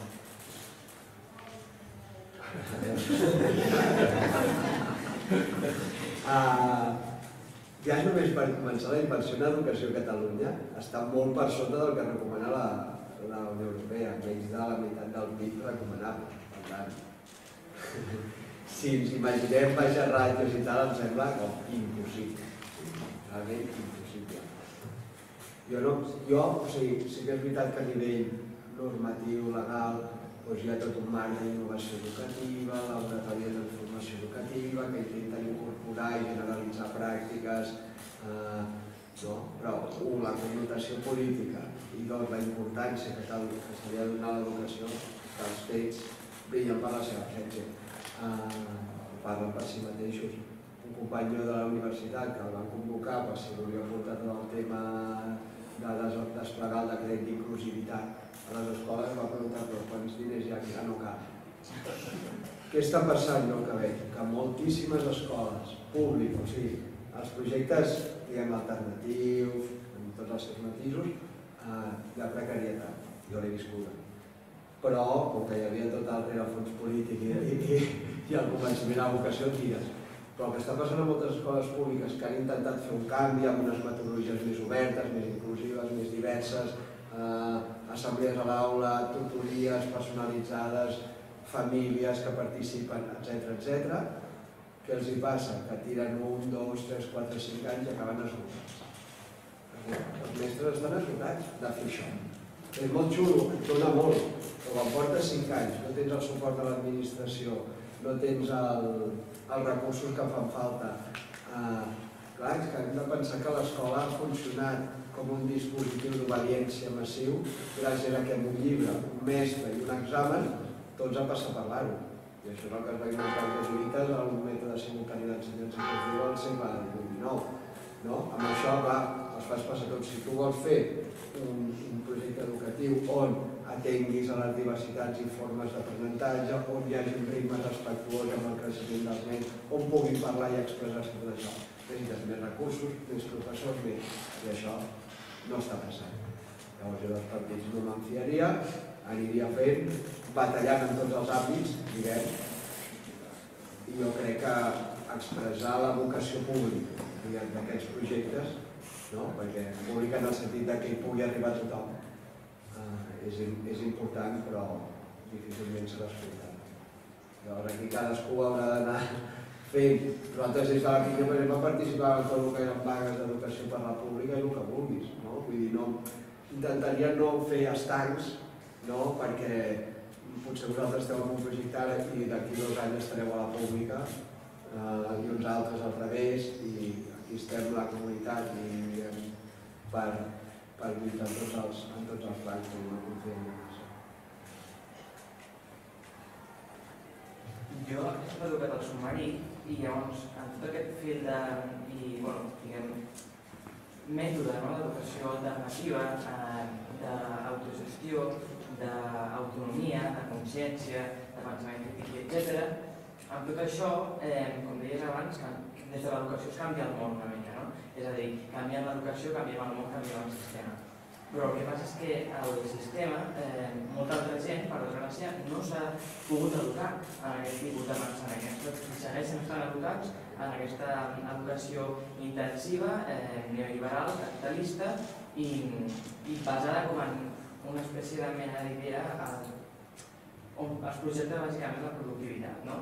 Llavors, si són pocs, o m'agradaria pensar que són molts, però potser no són tants els que hem estat educats en aquest sistema, i hem de canviar d'alguna manera el món en un futur, perquè tenim reptes globals que així ens ho evidencien, com ho fem, no? com ho fem en el futur per fer, eh, diguem-ne, global o per fer d'un abast molt més ampli aquestes educacions i aquesta educació de mètode que hem rebut nosaltres a escoles com el Submarí, eh, la la Pinya, etc., per expandir-ho al màxim i canviar el sistema amb aquests valors. Desde mi punto de vista, empezando desde lo pequeño y entonces cambiando por primero las relaciones que tenemos nosotros en el día a día, ¿no? Entonces, pues llevando fuera de la escuela lo que se ha aprendido ahí y entonces intentando relacionarse con los demás de una manera diferente y eh, expandiendo un poco, ¿no? Lo que seguro no podemos esperar que todo el mundo reciba, o por lo menos no dentro de poco tiempo, el mismo tipo de educación, pero esto que no se quede solo en la escuela, sino que llegue a todos los ámbitos de nuestra vida, porque también todas las elecciones que hacemos en nuestra vida, desde mi punto de vista, son políticas. Entonces, de cualquier eh, cosa que puedes hacer durante el día o elegir eh, en la cotidianidad, pues tiene, puede tener relación con, uh, con lo que se ha aprendido ahí. Mm. Jo, jo deia que l'educació contribueix, però no per, a, o sigui, no per no haver estat educat en una escola així, no pot ser diferent perquè per això l'educació no arriba a tot. Igual que sí, segurament hi haurà nens i nenes que han vingut a la pinya que potser faran una altra cosa que no, perquè no estem parlant d'adoctrinar, ni de sotmetre, ni de, ni de traspassar eh, de forma crítica una forma d'entendre i de viure el món.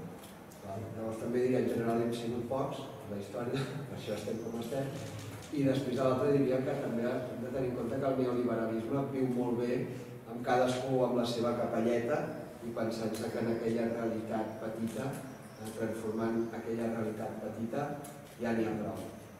Viu molt bé el neoliberalisme amb això, no? cadascú en el seu raconet, mentre el mercat funcioni, el sistema funcioni, no el qüestionem en la seva globalitat.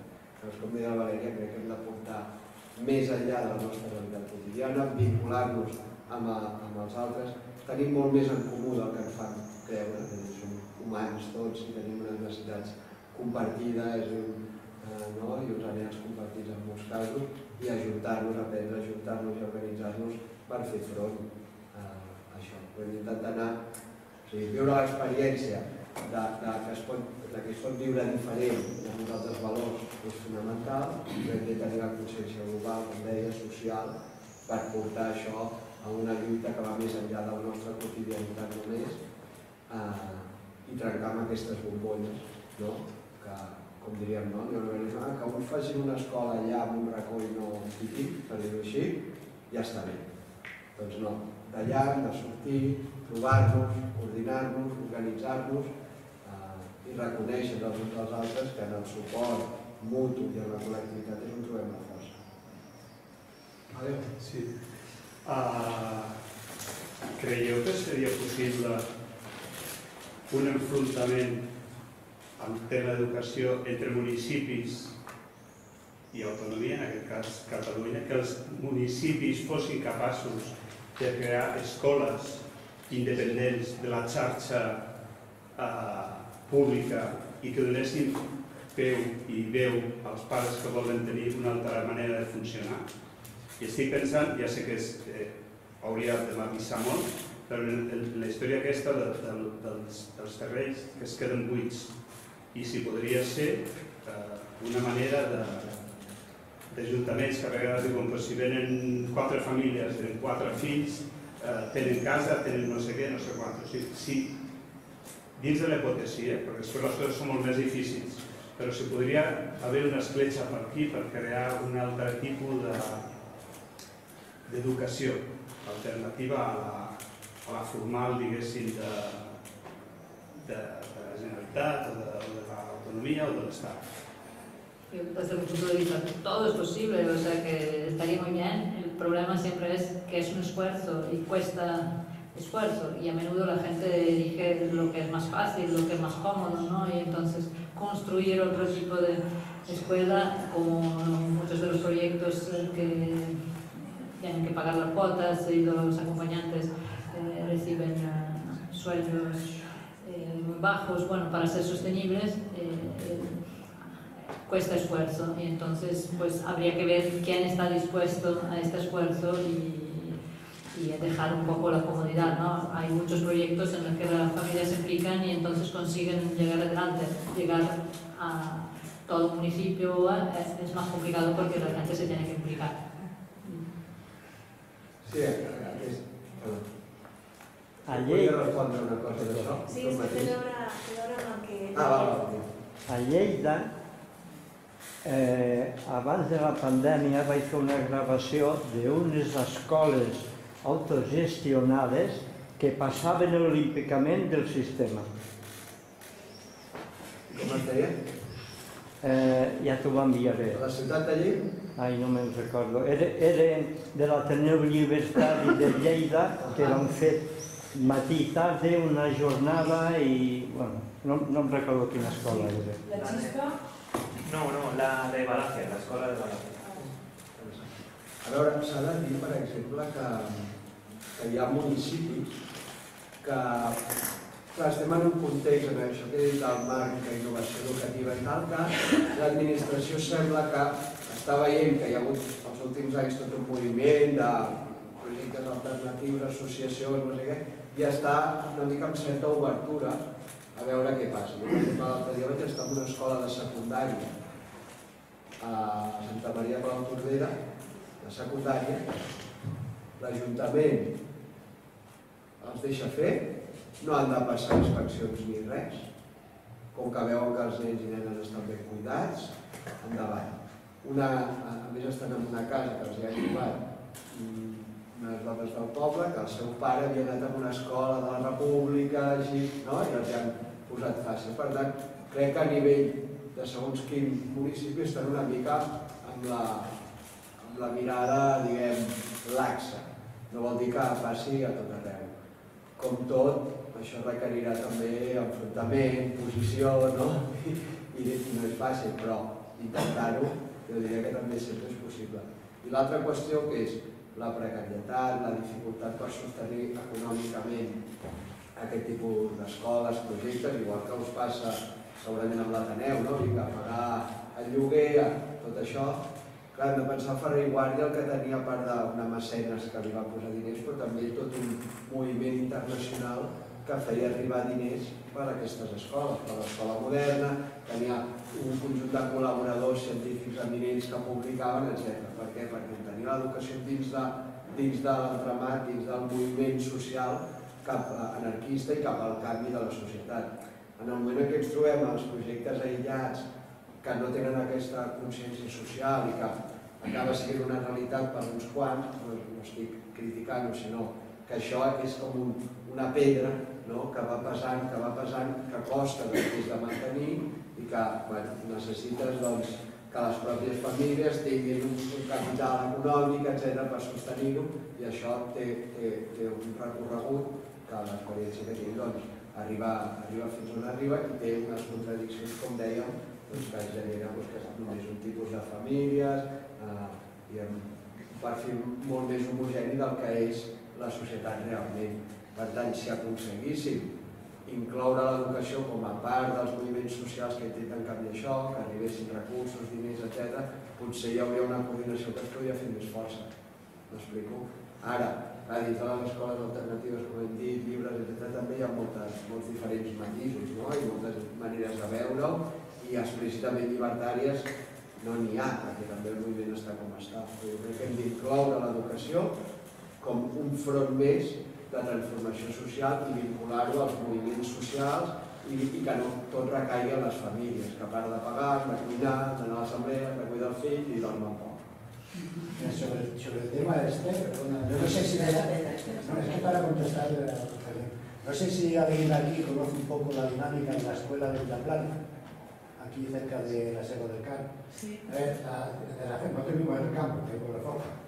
Y total viven, te diría yo, unas 10 parejas más o menos con ellos de partidas y bastantes de ellos tienen hijos. Y en vez de quedarse en la escuela de Alforja o en la escuela de Arbolí o en la escuela de, de, de la Sierra del Car, van a la escuela, van a la escuela de La Plana porque no es una escuela anarquista ni Montessori, es una escuela que pienso que pertenece a todo el sistema de educación normal, pero con las familias y con los profesores tal han conseguido hacer una dinámica de educación bastante diferente. No sé si alguien lo conoce, yo no conozco 100% cómo funciona la cosa, pero sí, sí, sí conocemos a bastantes parejas que a sus críos los llevan allí porque tienen un sistema muy, muy, diferente del normal. Les escoles Y eso municipio. Les escoles petites rurals, en general, moltes pràctiques, és molt més fàcil, diguem, d'aplicar-les, no? De, de, de fer comunitat, de, de, de que ells parlin, de que hi hagi aquesta pressió a la institució, sí, quan una institució molt gran, bueno, i dic, ja va fer tota la crítica institucional, no? De, de, de, de, de, de tot el currículum ocult que hi ha, la pròpia dinàmica eh, de, de la institució no? i tot el que significa estar en un context despersonalitzat, no? no hi ha vincle amb l'adult, tot això llavors. De fet, hi va haver una iniciativa fa un temps que per transformar la llei educativa perquè inclogués la possibilitat de la creació d'escoles petites. Perquè hi ha una normativa que diu l'escola ha de tenir tants metres, un pati de tants metres, un poliesportiu de tants metres, i això fa que projectes d'escoletes petites alternatives ni tan sols puguin, encara que vulguin, entrar en el sistema educatiu perquè eh, no compleixen amb la normativa i de la infraestructura. Ja no parlem de pedagogia, només de la infraestructura. I això... clar, I, I aquest és un problema que a nivell de secundària s'exponencia moltíssim. Perquè els instituts són immensos i tenim un problema realment a secundària de desafecció dels adolescents cap a l'escola, l'aprenentatge, el coneixement als mestres, que preocupant, i d'aquí la violència que s'hi viu des del bullying al del govern.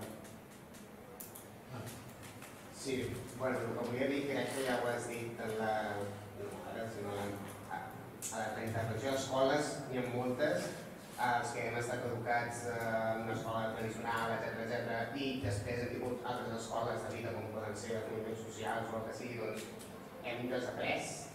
Uh, el que volia dir és que eh, bueno, jo, com a becari anarquista, professor d'un institut, de secundària públic, que porto la meva filla a una escola pública i totes les contradiccions que generen, tot i que aquí hi ha experiències properes, els Martines, Sota Bosch o així, que no són a, són a Tarragona, no estan al centre, uh, m'agrada molt la idea que no, no sé, no se m'havia passat pel cap, sí, però no la tenia de l'estructura com tu, del fet de, això, de, de, de trencar des de, des de, ja sé que el, l'educació pública està molt malament, ja no només altres comentaris, sinó els propis eh, treballadors, els assalariats. Bueno, el que volia dir això, no? De, que, que, que m'ha molt aquesta idea de, de trencar des del públic, no? Eh, una miqueta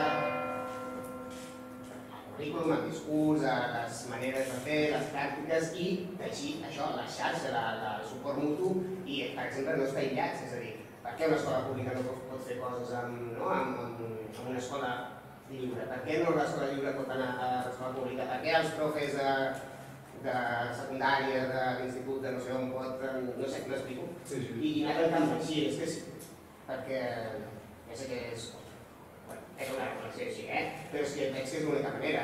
No, jo vaig portar la filla a una escola, diguéssim, alternativa lliure, bueno, doncs per diversos motius, però i molt gaire. Estem molt contents, però, però vull dir que mm, és això, hem de, hem de trencar, perquè sigui de veritat un, un universal o així, doncs contaminar-nos, eh, impactar-nos, eh, diguem-ne com vulguem, entre diferents realitats i. I si anar trencant, bueno, l'ideal seria que algun dia doncs, ja, l'educació pública fos entesa d'una altra manera. no? De reaccionar al zero. Bueno, no sé, una reflexió. Una contradicció contínua com a, com a, no? com a la meva ideologia, com a pare, com a assalariat, com a... No, recordando que casi todos hemos pasado por la escuela pública, eh, la mayoría de adultos, y todos hemos encontrado al menos un profesor que nos ha dado algo positivo, que quizás nos ha transmitido algo, ¿no? Porque si a la mayoría de profesores que podemos encontrar en la escuela pública quizás eh, no lleven mucho entusiasmo, pero seguro que nos han, nos han transmitir uno o dos, por lo menos yo tenía un profesor de castellano que me ha entusiasmado y aquí estoy al final, ¿no? que siguen, que, eh, y entonces lo posible en la escuela pública también es que cuando cierras la puerta y estás en el aula con los alumnos, tú decides qué transmitir, cómo relacionarte con los chicos, qué hacer. Entonces también en la pública, sin tener que transformar todo, algo se puede hacer desde mi punto de vista, por lo menos transmitir uh, otra manera de ser. Los, los uh, chicos sienten esta cercanía, o a mí, al menos a mí me ha pasado con algún profesor que te permite ver que no todo es lo que te venden o lo que ves en la televisión. Y entonces cuando encuentras a estas personas, pues son las que te pueden abrir un poco la puerta para el pensamiento crítico, para desarrollar algo más en la pública también. Sí, és que jo, jo diria que això, que el furisme de l'educació no porta enlloc. Ni des de la idea d'una escola alternativa que ho canviarà tot o que des de certa metodologia això ja està no? ni des d'una estructura com és la, la, la, l'escola diguem homologada dir que no s'hi pot fer. Jo crec que un dels reptes és diguem, analitzar l'educació, és a dir, entendre l'escola com un espai possible de resistència davant un món que és atomitzat, competitiu, no despersonalitzat. A l'escola, en la relació alumnes-professors, tenim un espai privilegiat per seure, mirar-nos als ulls i dir què passa aquí? Qui ets tu, com ho fem? I, i des d'aquí, des, de, des de buscar aquest contacte, no? aquesta vinculació entre persones i no en un món despersonalitzat completament, aïllat, distanciat, eh, i el que cadascú està amb el seu reconec, amb el seu ordinador, amb el seu dispositiu, mirant coses de lluny. No? Recuperar aquest espai de trobada que és l'escola i que sigui la pública on sigui, és, un espai, diguem, on, on es pot donar aquest contacte proper entre la persona a persona, l'humanitat, on el coneixement està al centre diguem, del repte, no del de fer, però que si hi ha hagut un conflicte, si hi ha hagut un, un, una inquietud, si a la classe està passant alguna cosa i llavors podem parar, podem mirar-nos a la cara i, i afrontar-ho com a persones que estem en igualtat i que, i que tenim molt en comú i que des d'aquest compartir el comú podem construir junts, és que si no, el que ens ve també és models de teleeducació, on programes en tenen que dependre cadascú, molt personalitzat en el que vulgui, però completament aïllats els uns dels altres i condicionats per, el que hi ha darrere de les, les noves tecnologies, de condicionalitats que posen.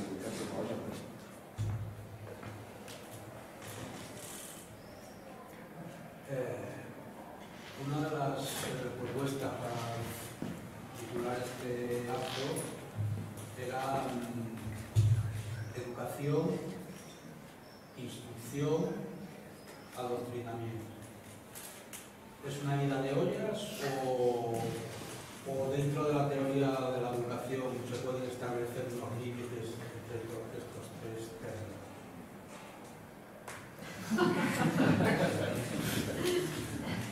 No sé, yo intento...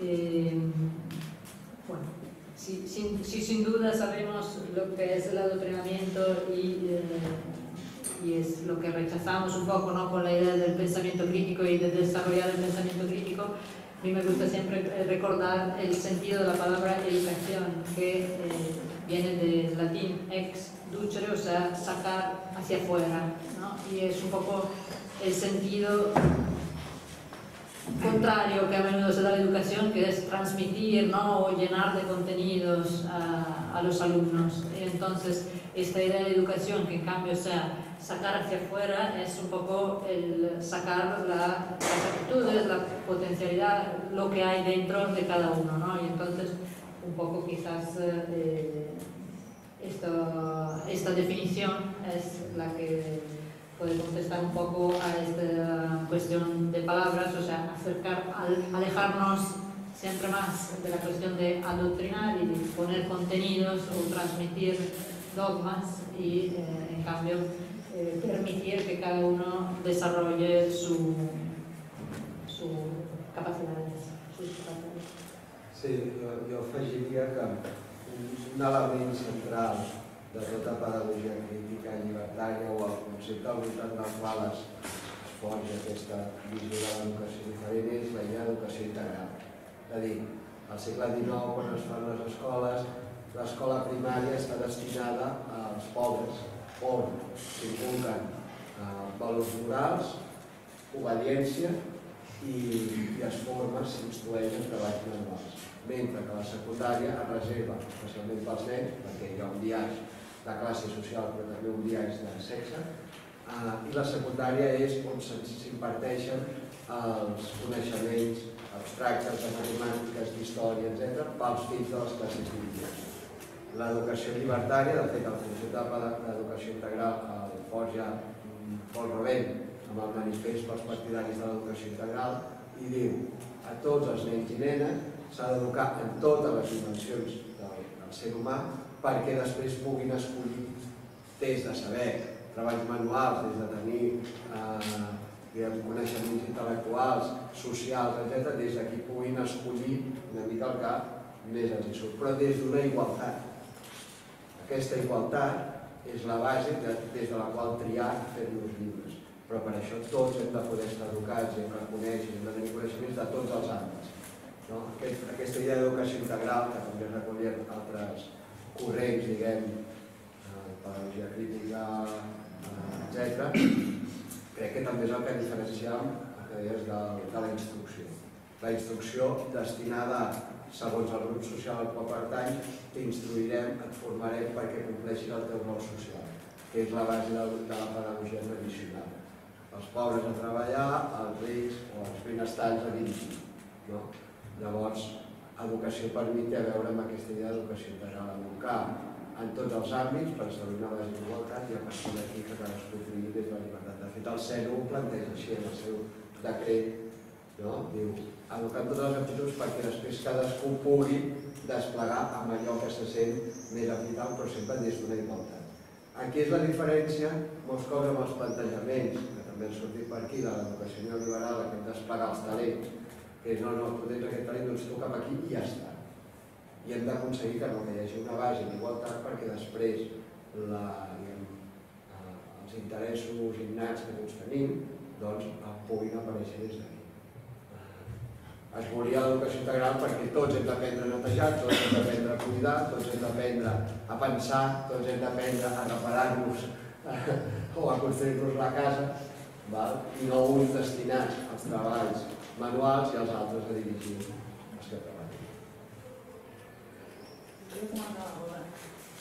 Hi ha, un, hi ha una cosa que em fa por dins de la pública, que és que estic veient que la mateixa gent que fa polítiques neoliberals s'abanderen una sèrie de conceptes que potser ens semblen llibertaris, no? com posem l'alumnat al centre, eh, com tota una sèrie de conceptes que trobo que els han com buidat de contingut.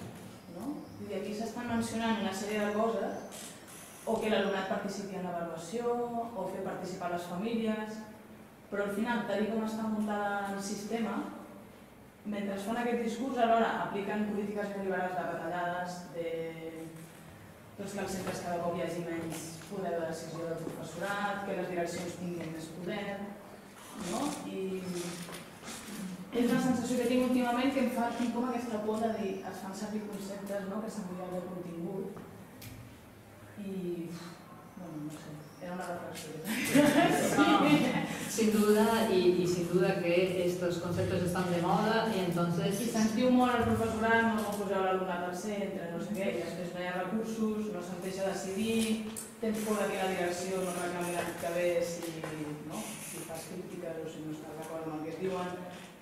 No hi ha participació perquè realment els claustres és direcció fa un discurset, tots calladets i ja està, no? no hi ha un no hi ha realment sí, sí. una cosa col·lectiva de coordinació, no, no hi ha aquests espais de debat tampoc, no, el professorat, almenys aquí jo vinc.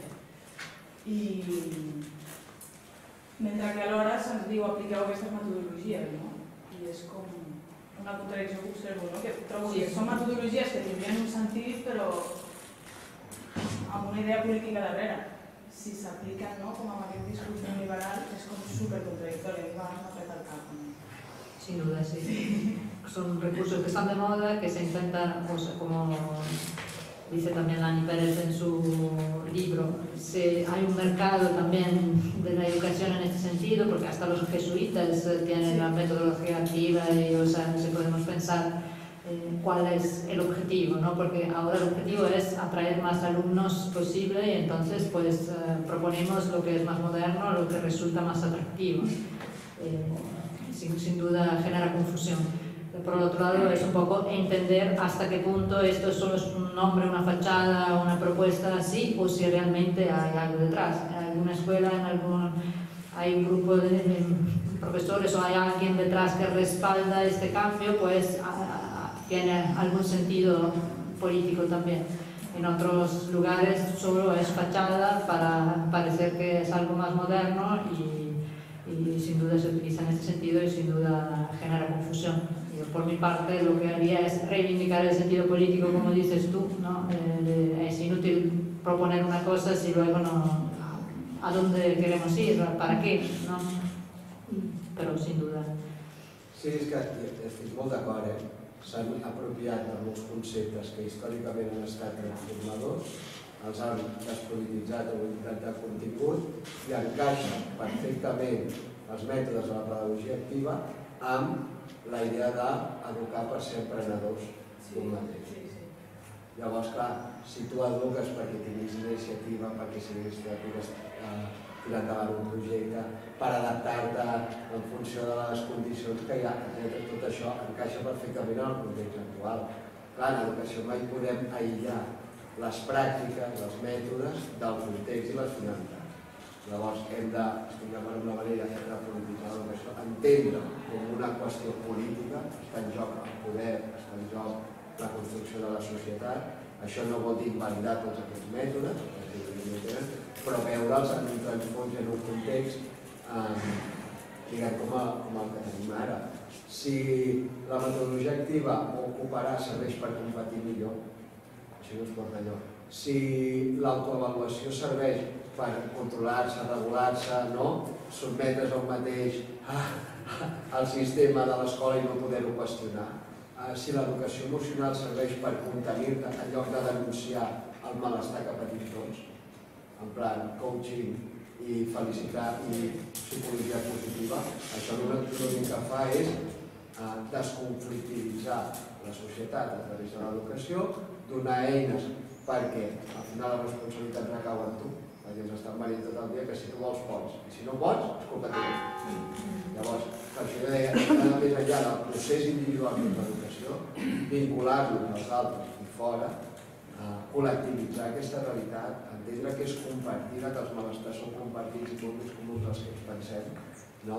I com tu deies, no pot ser que o sigui, apliqueu talment, no, hem de discutir, hem de parlar i l'escola també per les condicions laborals eh, dels propis mestres que són precàries perquè necessiten de recursos però també són segures quan tenen una plaça, etc., entendre com un camp de batalla també per discutir i qüestionar tot això i no deixar que en nom de l'ortodoxia pedagògica, de la, nova, de la nova correcció pedagògica, que és aquesta, que és una correcció pedagògica, però després s'ha de veure el contingut. Però totes les escoles treballem per projectes, l'educació no... Bé, això, l'educació és la pràctica, enteneu? I la pràctica és de reflexió, i la reflexió d'incloure la dimensió política i aquí revisar la pràctica. Si no hi ha tot això i només es converteix en una ortodoxia pedagògica per fer el joc a les necessitats del mercat que ve, perquè el mantra de no sabem de què treballaran, hem d'educar perquè es puguin adaptar al destí. O jo pregunto, qui ha decidit com serà aquest futur? Com eduquem per poder-lo decidir nosaltres? En això podem educar, en aprendre a decidir com transformar la realitat que tenim la del futur, no en adaptar-nos a localitzar, que no sabem qui ho ha decidit. Però sembla que ja estigui al país de Eh, ho sentim molt, el debat és molt interessant, però els treballadors de, de la casa tenen el seu horari que complir i tenim que tallar-lo ja. Agrair a Valeria i a l'Albert molt que hagin vingut i ens hagin parlat de alguna cosa interessant. Podem fer propaganda? No! No, perquè hem muntat, de cara a la tardor, eh, conjuntament, un curs sobre pedagogia llibertària més extens a la Universitat Popular Autogestionada de Sants, que és una universitat que funciona autònomament. Eh, hem muntat un curs en diverses sessions on s'aprofundiran les qüestions històriques, també a nivell del present, tindran diversos projectes que treballen o desenvolupen pràctiques com les que hem explicat està convidat a través de la UPA, Universitat Popular Autogestionada, hi haurà comunicació es diran dates i tal. El otoño, ¿no? Sí. Sí, a la tarda. I gràcies per tot.